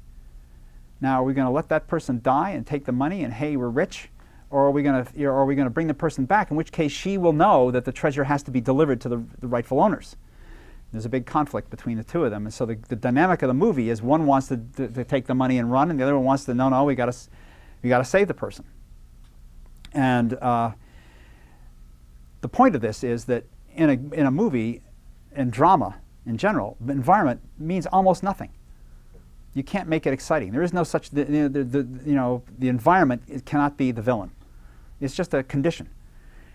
However, we all know that in a game, my God, it might be really cool to be pitoning your way up that damn mountainside, and the hell with the, the, the ethical dilemma on the other part of it. You know, that might be a really good game. So yeah, I think it's a, there's, a, there's a big difference. You're killing me. Okay, any other questions? yep. You briefly mentioned that Mata Hari might not ship. Oh yeah, I'm sorry. I, I, Warren and I talked about that a little bit. Here's what's going on. The game is being made on a shoestring. Uh, the publisher over there is, is, I think, very solid. It's called DTP Entertainment. They're based in Hamburg. Uh, in, in, uh, in Germany, they, um, they publish under a, a, brand of theirs called Anaconda, but that doesn't really work for venture games over here. I think their partner in America, uh, or at least in North America, because they're from Canada, is Dreamcatcher. Um, but they're, they're a solid company. But they the, the, the, Germany is full of tiny little studios. And um, the studio I think that's building our game is, their nose is, here's the surface of the water, and it's kind of like this, and uh, you know, I can't tell. Uh, the, we've been working on the game now for the better part of a year, almost a year. The anniversary is in a week or two. And they made a lot of progress, but I'm not convinced absolutely that they'll see it through to the end. So, I don't know. We'll find out. About a, about a year and a half now, I think. I don't think it'll be done in six months. I think it'll be another year before they get it out the door. So we'll see. And the problem is that they're, they're, they're, they're falling behind a little bit so now you have, as a publisher, a big problem. You've got a lot of games that you publish, and the question is, um, are you going to let another game go intrude in someone else's slot as, as it's delayed, or does it make more, and possibly diminish the value of another game, which is trying to come out maybe like next fall? And maybe our game would come in there and diminish the value of that game without actually taking over that slot, in which case they've really made a bad decision from a business point of view. Or is it better to, hey, the writing's on the wall and see ya? kill it. I don't know. I don't know. Uh, every week, emails come and go, and my mood goes like that. that's, that's pretty much the game business, by the way. This right here. Any other questions? No. Game business is pretty secretive um, how do you share technologies and ideas with other people? That's a great question. It's a, a big problem. How do we share technology in a, in a business that's secretive? It is secretive. It's secretive because we're organized into companies. And companies are run by foolish people who want to protect all these little assets that are semi worthless. And, um, you know, I mean, you, you can always run out there and find other stuff. I mean, in, in fact, if you're smart, you, you do as little software as possible, I think. But um, there are always people out there who think they've got the next greatest thing and they want to protect it and they don't want to tell anybody about it. This happened at LucasArts many years ago with a sound, uh, uh, interactive sound system called iMuse. Everybody does interactive sound now. I mean, iMuse never made a dime for the company, but they wouldn't tell anybody what we were doing. We were forbidden to explain to people how we were able to hook sounds in dynamically and you know, the next thing we knew, Wing Commander came out, and they were doing it too. And then, you know, geez. So, I, I just think it's foolish. And here's the interesting thing. Again, I, I'm doing a lot of analogies to the movie business because I've worked for long periods of time in both businesses, and uh, so they they really differ.